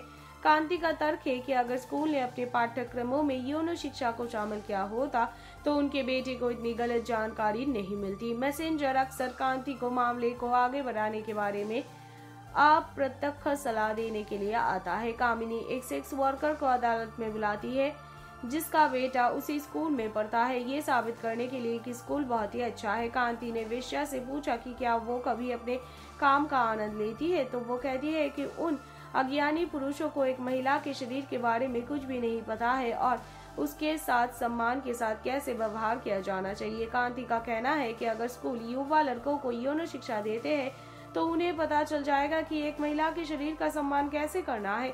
फिर वो कहता है कि उसके अपने बेटे को भी उन अज्ञानी पुरुषों की तरह नहीं बनना चाहिए जो खुशी के लिए उसके पास आते हैं, जिससे पूरा अदालत कक्ष अबाक रह जाता है। वो उन्हें एक बहादुर शिक्षिका बताते हुए उन्हें नमन करते हैं। जैसे ही मामला आगे बढ़ता है, कांटी पोर्नोग्राफी, बलात्कार, ड्रग्स और यौन शिक्षा के महत्व से संबंधित मुद्दे बताते हैं। स्कूल के चेयरमैन ने उसे अपना केस वापस लेने के लिए पैसे की पेशकश की है। कांति अपने बेटे के भविष्य को लेकर भावना तक जाल में फंस जाता है और चेक पर हस्ताक्षर कर देता है। वो एक दुर्घटना का शिकार हो जाता है और ज़ाहिर तौर पर मर जाता है। अस्पताल में एक दूत उससे मिलने आता है, जो विश्वास खाने के उसके निर्णय की आलोचना करता है और अंत में खुद को भगवान शिव द्वारा भेजी गई एक दिव्य अभिव्यक्ति के रूप में प्रकट करता है। वो कांति को दिखाता है कि उसके प्रयास सामने आ गई है क्योंकि पांडे जी की पोती ने अपने परिवार के सामने अपने साथ हुए। यौन शोषण का खुलासा किया है। कांति के मामले में टीवी पर दिखाए जाने के कारण कांति को अपनी गलती का एहसास होता है और उसका पुनर्जन्म होता है और उसे अदालत में ले जाया जाता है। सुनवाई में विवेक पहली बार पहुँचते हैं और अपने शोध के माध्यम से साबित किया कि उपनिवेशियों द्वारा ने भारत की शिक्षा प्रणाली को बर्बाद कर दिया गया है, जिसमें वास्तव में प्राचीन काल में यौन शिक्षा भी शामिल थी। भीड़ में से किशोर आगे आकर कहते हैं कि ये भी हस्त मैथुन करते हैं और ये कोई पाप नहीं है, जिसमें जज का अपना बेटा भी शामिल है। कांति ने केस जीत लिया क्योंकि शिक्षा बोर्ड को आदेश दिया गया कि यौन शिक्षा को अनिवार्य बनाया जाए और कांति को भुगतान दिया जाए और विवेक को स्कूल में वापस लिया जाए। कांति ने मैसेंजर को अपने परिवार का परिचय, उस डॉक्टर जिसने उसका इलाज किया के रूप में कराया और मंदिर के बदले उसके हाथ में सारा पैसा देने की पेशकश की। तब दूत ने खुलासा किया कि खोया हुआ बैग उसका था और विवेक से उसे अपने पास रखने के लिए कहा, जिसके अंदर सांस्कृतिक और धार्मिक पुस्तकें थी। फिर वो कहता है कि उसके पास देखने के लिए एक और मरीज़ है और वो प्रार्थना करते हुए प्रसन्न कांति को छोड़कर चला जाता है। अब बात करें इस फ़िल्म की ओ रिलीज़ को लेकर तो इस फ़िल्म को ओ प्लेटफॉर्म नेटफ्लिक्स पर रिलीज़ कर दी गई है। तो अगर आप इसे फ्री में देखना चाहते हैं तो नेटफ्लिक्स पर फ्री में देख सकते हैं, अगर आपके पास नेटफ्लिक्स का सब्सक्रिप्शन है। O M G two film देखने से पहले यहाँ जाने फ़िल्म की पूरी कहानी, वो भी हिंदी में, और जाने कहा देखे से फ्री में। भगवान शिव के कट्टर वक्त कंती शरण मुदगल की शहर के प्रमुख महाकाल मंदिर के बाहर एक दुकान है। एक दिन उन्हें अस्पताल में बुलाया गया और बताया गया कि उनका बेटा विवेक पूरी रात लगातार हस्तमैथुन करता रहा जब तक कि वो बेहोश नहीं हो गया और कई वियाग्रा की गोली खा ली। विवेक के दोस्त बताते हैं कि असुरक्षित विवेक को उसके लिंग के आकार को लेकर परेशान किया जाता था और कहा जाता था कि हस्तमैथुन करने से ये बढ़ जाएगा। स्कूल में जीव विज्ञान के शिक्षक ने विवेक के सवालों का जवाब देने से इनकार कर दिया, जिसके कारण उन्हें संदिग्ध लोगों और दवाइयों को अनंत अस्पताल जाना पड़ा। कांति को स्कूल के चेयरमैन ने बताया कि विवेक का स्कूल से शौचालय में हस्तमैथुन करते हुए एक वीडियो चल रहा है, क्योंकि इससे स्कूल की छवि प्रभावित हो रही है। विवेक को अश्लीलता के आधार पर निष्कासित कर दिया गया है। कांति के दोस्तों पांडे जी, जो मंदिर के एक अमीर पुजारी है, उन्हें शहर छोड़ने की सलाह देते हैं क्योंकि स्थिति उनकी धार्मिक छवि को खराब कर रही है। वीडियो कांति की पत्नी और बेटी और उनके पूरे मोहल्ले तक पहुँच जाता है। उन्हें समाज में शर्मिंदा होना शुरू हो जाता है। तबाह होकर कांति मदद के लिए भगवान शिव से प्रार्थना करती है। तभी मंदिर में एक दिव्य शक्ति चमकती है और भगवान शिव द्वारा भेजा गया एक दूत आता है। अपने बदमाश की हत्या की कोशिश के लिए विवेक के खिलाफ पुलिस शिकायत के बाद मैसेंजर पुलिस स्टेशन में एक विवेक और कांति से मिलता है और कहता है कि वो अपने लापता बैग की शिकायत दर्ज कराने के लिए वहाँ आया है, जहाँ वो विवेक को सांत्वना देता है। विवेक दो बार आत्महत्या करने की कोशिश करता है, लेकिन मैसेंजर द्वारा बचा लिया जाता है। जब वे शहर छोड़ने वाले थे तो वो कांति से मिलता है और उसे बताता है कि उसके बेटे ने कुछ भी गलत नहीं किया है। वो ये समझने के लिए स्तनपान कराने वाली माँ का उदाहरण लेते हैं कि गोपिनी याता में किया गया हर काम गलत या अश्लील नहीं होता। ये स्कूल की गलती है कि उसने उसे ठीक से शिक्षा नहीं दी और कांति की गलती है कि वो उसे ठीक से मार्गदर्शन नहीं दे सका। वो कांति को स्कूल और चिकित्सकों के खिलाफ मामला दर्ज करने की सलाह देता है। कांति ने स्कूल, केमिस्ट, डॉक्टर और खुद के खिलाफ मामला दर्ज किया। जब इस तथ्य का विरोध किया गया कि वो अपने बेटे के कृत्यों का बचाव करके सिर्फ़ अश्लीलता को बढ़ावा दे रहे हैं तो उन्होंने अदालत में ये बात रखी कि सनातन धर्म और भारतीय संस्कृति में हमेशा सेक्स पर बातचीत शामिल थी। वो इलोरा अजंता और खजुराहो मंदिरों के अंतरंग मानव कला नक्शाशी की दिखाता है और अपने मामले को स्वीकार करने के लिए एक यदिच्छिक बैग से मिली कई पुस्तकों का उदाहरण देता है। पांडे जी कांति को अपना दिया हुआ घर और दुकान छोड़ने के लिए कहते हैं क्योंकि वो ये मामला उनकी धार्मिक छवि को धूमिल करेगा। विपक्षी वकील कामिनी महेश्वरी का कहना है कि कांति अपने बेटे की अश्लील हरकत को छुपाने के लिए ये सब कर रहे हैं। कांति का तर्क है कि अगर स्कूल ने अपने पाठ्यक्रमों में यौन शिक्षा को शामिल किया होता तो उनके बेटे को इतनी गलत जानकारी नहीं मिलती। मैसेंजर अक्सर कांति को मामले को आगे बढ़ाने के बारे में अप्रत्यक्ष सलाह देने के लिए आता है। कामिनी एक सेक्स वर्कर को अदालत में बुलाती है, जिसका बेटा उसी स्कूल में पढ़ता है। ये साबित करने के लिए कि स्कूल बहुत ही अच्छा है। कांति ने वेश्या से पूछा कि क्या वो कभी अपने काम का आनंद लेती है? तो वो कहती है कि उन अज्ञानी पुरुषों को एक महिला के शरीर के बारे में कुछ भी नहीं पता है और उसके साथ सम्मान के साथ कैसे व्यवहार किया जाना चाहिए। कांति का कहना है कि अगर स्कूल युवा लड़कों को यौन शिक्षा देते हैं तो उन्हें पता चल जाएगा कि एक महिला के शरीर का सम्मान कैसे करना है। फिर वो कहता है कि उसके अपने बेटे को भी उन अज्ञानी पुरुषों की तरह नहीं बनना चाहिए जो खुशी के लिए उसके पास आते हैं, जिससे पूरा अदालत कक्ष अबाक रह जाता है। वो उन्हें एक बहादुर शिक्षिका बताते हुए उन्हें नमन करते हैं। जैसे ही मामला आगे बढ़ता है, कांटी पोर्नोग्राफी बलात्कार ड्रग्स और यौन शिक्षा के महत्व से संबंधित मुद्दे बताते हैं। स्कूल के चेयरमैन ने उसे अपना केस वापस लेने के लिए पैसे की पेशकश की है।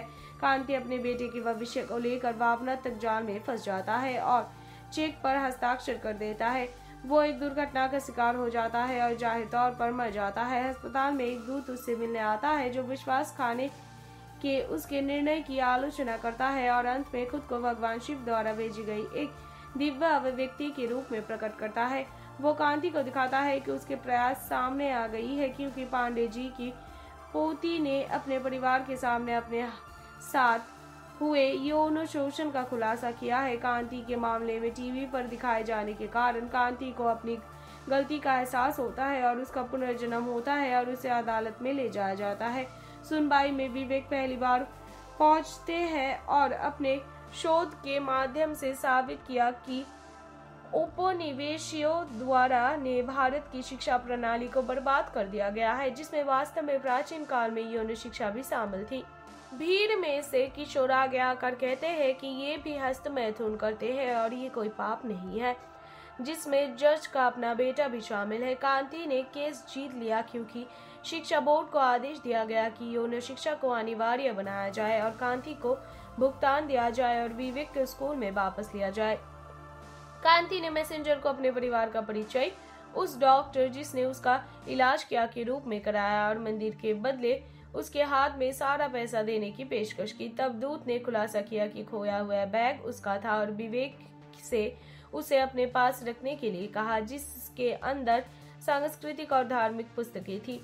फिर वो कहता है कि उसके पास देखने के लिए एक और मरीज़ है और वो प्रार्थना करते हुए प्रसन्न कांति को छोड़कर चला जाता है। अब बात करें इस फ़िल्म की ओ रिलीज़ को लेकर तो इस फ़िल्म को ओ प्लेटफॉर्म नेटफ्लिक्स पर रिलीज़ कर दी गई है। तो अगर आप इसे फ्री में देखना चाहते हैं तो नेटफ्लिक्स पर फ्री में देख सकते हैं, अगर आपके पास नेटफ्लिक्स का सब्सक्रिप्शन है। O M G two film देखने से पहले यहाँ जाने फ़िल्म की पूरी कहानी, वो भी हिंदी में, और जाने कहा देखे से फ्री में। भगवान शिव के कट्टर वक्त कंती शरण मुदगल की शहर के प्रमुख महाकाल मंदिर के बाहर एक दुकान है। एक दिन उन्हें अस्पताल में बुलाया गया और बताया गया कि उनका बेटा विवेक पूरी रात लगातार हस्त मैथुन करता रहा जब तक कि वो बेहोश नहीं हो गया और कई वियाग्रा की गोली खा ली। विवेक के दोस्त बताते हैं कि असुरक्षित विवेक को उसके लिंग के आकार को लेकर परेशान किया जाता था और कहा जाता था कि हस्त मैथुन करने से ये बढ़ जाएगा। स्कूल में जीव विज्ञान के शिक्षक ने विवेक के सवालों का जवाब देने से इनकार कर दिया, जिसके कारण उन्हें संदिग्ध लोगों और दवाइयों को अनंत अस्पताल जाना पड़ा।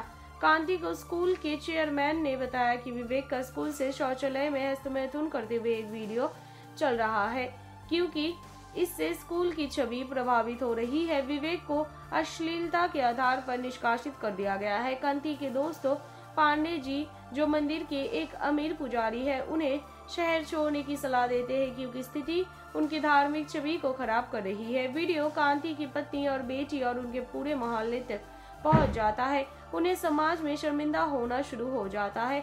तबाह होकर कांति मदद के लिए भगवान शिव से प्रार्थना करती है। तभी मंदिर में एक दिव्य शक्ति चमकती है और भगवान शिव द्वारा भेजा गया एक दूत आता है। अपने बदमाश की हत्या की कोशिश के लिए विवेक के खिलाफ पुलिस शिकायत के बाद मैसेंजर पुलिस स्टेशन में एक विवेक और कांति से मिलता है और कहता है कि वो अपने लापता बैग की शिकायत दर्ज कराने के लिए वहाँ आया है, जहाँ वो विवेक को सांत्वना देता है। विवेक दो बार आत्महत्या करने की कोशिश करता है, लेकिन मैसेंजर द्वारा बचा लिया जाता है। जब वे शहर छोड़ने वाले थे तो वो कांति से मिलता है और उसे बताता है कि उसके बेटे ने कुछ भी गलत नहीं किया है। वो ये समझने के लिए स्तनपान कराने वाली माँ का उदाहरण लेते हैं कि गोपिनी याता में किया गया हर काम गलत या अश्लील नहीं होता। ये स्कूल की गलती है कि उसने उसे ठीक से शिक्षा नहीं दी और कांति की गलती है कि वो उसे ठीक से मार्गदर्शन नहीं दे सका। वो कांति को स्कूल और चिकित्सकों के खिलाफ मामला दर्ज करने की सलाह देता है। कांति ने स्कूल केमिस्ट, डॉक्टर और खुद के खिलाफ मामला दर्ज किया। जब इस तथ्य का विरोध किया गया कि वो अपने बेटे के कृत्यों का बचाव करके सिर्फ़ अश्लीलता को बढ़ावा दे रहे हैं तो उन्होंने अदालत में ये बात रखी कि सनातन धर्म और भारतीय संस्कृति में हमेशा सेक्स पर बातचीत शामिल थी। वो इलोरा, अजंता और खजुराहो मंदिरों के अंतरंग मानव कला नक्शाशी की दिखाता है। और अपने मामले को स्वीकार करने के लिए एक यदिच्छिक बैग से मिली कई पुस्तकों का उदाहरण देता है। पांडे जी कांति को अपना दिया हुआ घर और दुकान छोड़ने के लिए कहते हैं क्योंकि वो ये मामला उनकी धार्मिक छवि को धूमिल करेगा। विपक्षी वकील कामिनी महेश्वरी का कहना है कि कांति अपने बेटे की अश्लील हरकत को छुपाने के लिए ये सब कर रहे हैं। कांति का तर्क है कि अगर स्कूल ने अपने पाठ्यक्रमों में यौन शिक्षा को शामिल किया होता तो उनके बेटे को इतनी गलत जानकारी नहीं मिलती। मैसेंजर अक्सर कांति को मामले को आगे बढ़ाने के बारे में अप्रत्यक्ष सलाह देने के लिए आता है। कामिनी एक सेक्स वर्कर को अदालत में बुलाती है, जिसका बेटा उसी स्कूल में पढ़ता है। ये साबित करने के लिए कि स्कूल बहुत ही अच्छा है। कांति ने वेश्या से पूछा कि क्या वो कभी अपने काम का आनंद लेती है? तो वो कहती है कि उन अज्ञानी पुरुषों को एक महिला के शरीर के बारे में कुछ भी नहीं पता है और उसके साथ सम्मान के साथ कैसे व्यवहार किया जाना चाहिए? कांति का कहना है कि अगर स्कूल युवा लड़कों को यौन शिक्षा देते हैं तो उन्हें पता चल जाएगा कि एक महिला के शरीर का सम्मान कैसे करना है। फिर वो कहता है कि उसके अपने बेटे को भी उन अज्ञानी पुरुषों की तरह नहीं बनना चाहिए जो खुशी के लिए उसके पास आते हैं, जिससे पूरा अदालत कक्ष अबाक रह जाता है। वो उन्हें एक बहादुर शिक्षिका बताते हुए उन्हें नमन करते हैं। जैसे ही मामला आगे बढ़ता है, कांटी पोर्नोग्राफी बलात्कार ड्रग्स और यौन शिक्षा के महत्व से संबंधित मुद्दे बताते हैं। स्कूल के चेयरमैन ने उसे अपना केस वापस लेने के लिए पैसे की पेशकश की है। कांति अपने बेटे के भविष्य को लेकर भावनात्मक जाल में फंस जाता है और चेक पर हस्ताक्षर कर देता है। वो एक दुर्घटना का शिकार हो जाता है और ज़ाहिर तौर पर मर जाता है। अस्पताल में एक दूत उससे मिलने आता है, जो विश्वास खाने के उसके निर्णय की आलोचना करता है और अंत में खुद को भगवान शिव द्वारा भेजी गई एक दिव्य व्यक्ति के रूप में प्रकट करता है। वो कांति को दिखाता है कि उसके प्रयास सामने आ गई है क्योंकि पांडे जी की पोती ने अपने परिवार के सामने अपने साथ हुए। यौन शोषण का खुलासा किया है। कांति के मामले में टीवी पर दिखाए जाने के कारण कांति को अपनी गलती का एहसास होता है और उसका पुनर्जन्म होता है और उसे अदालत में ले जाया जाता है।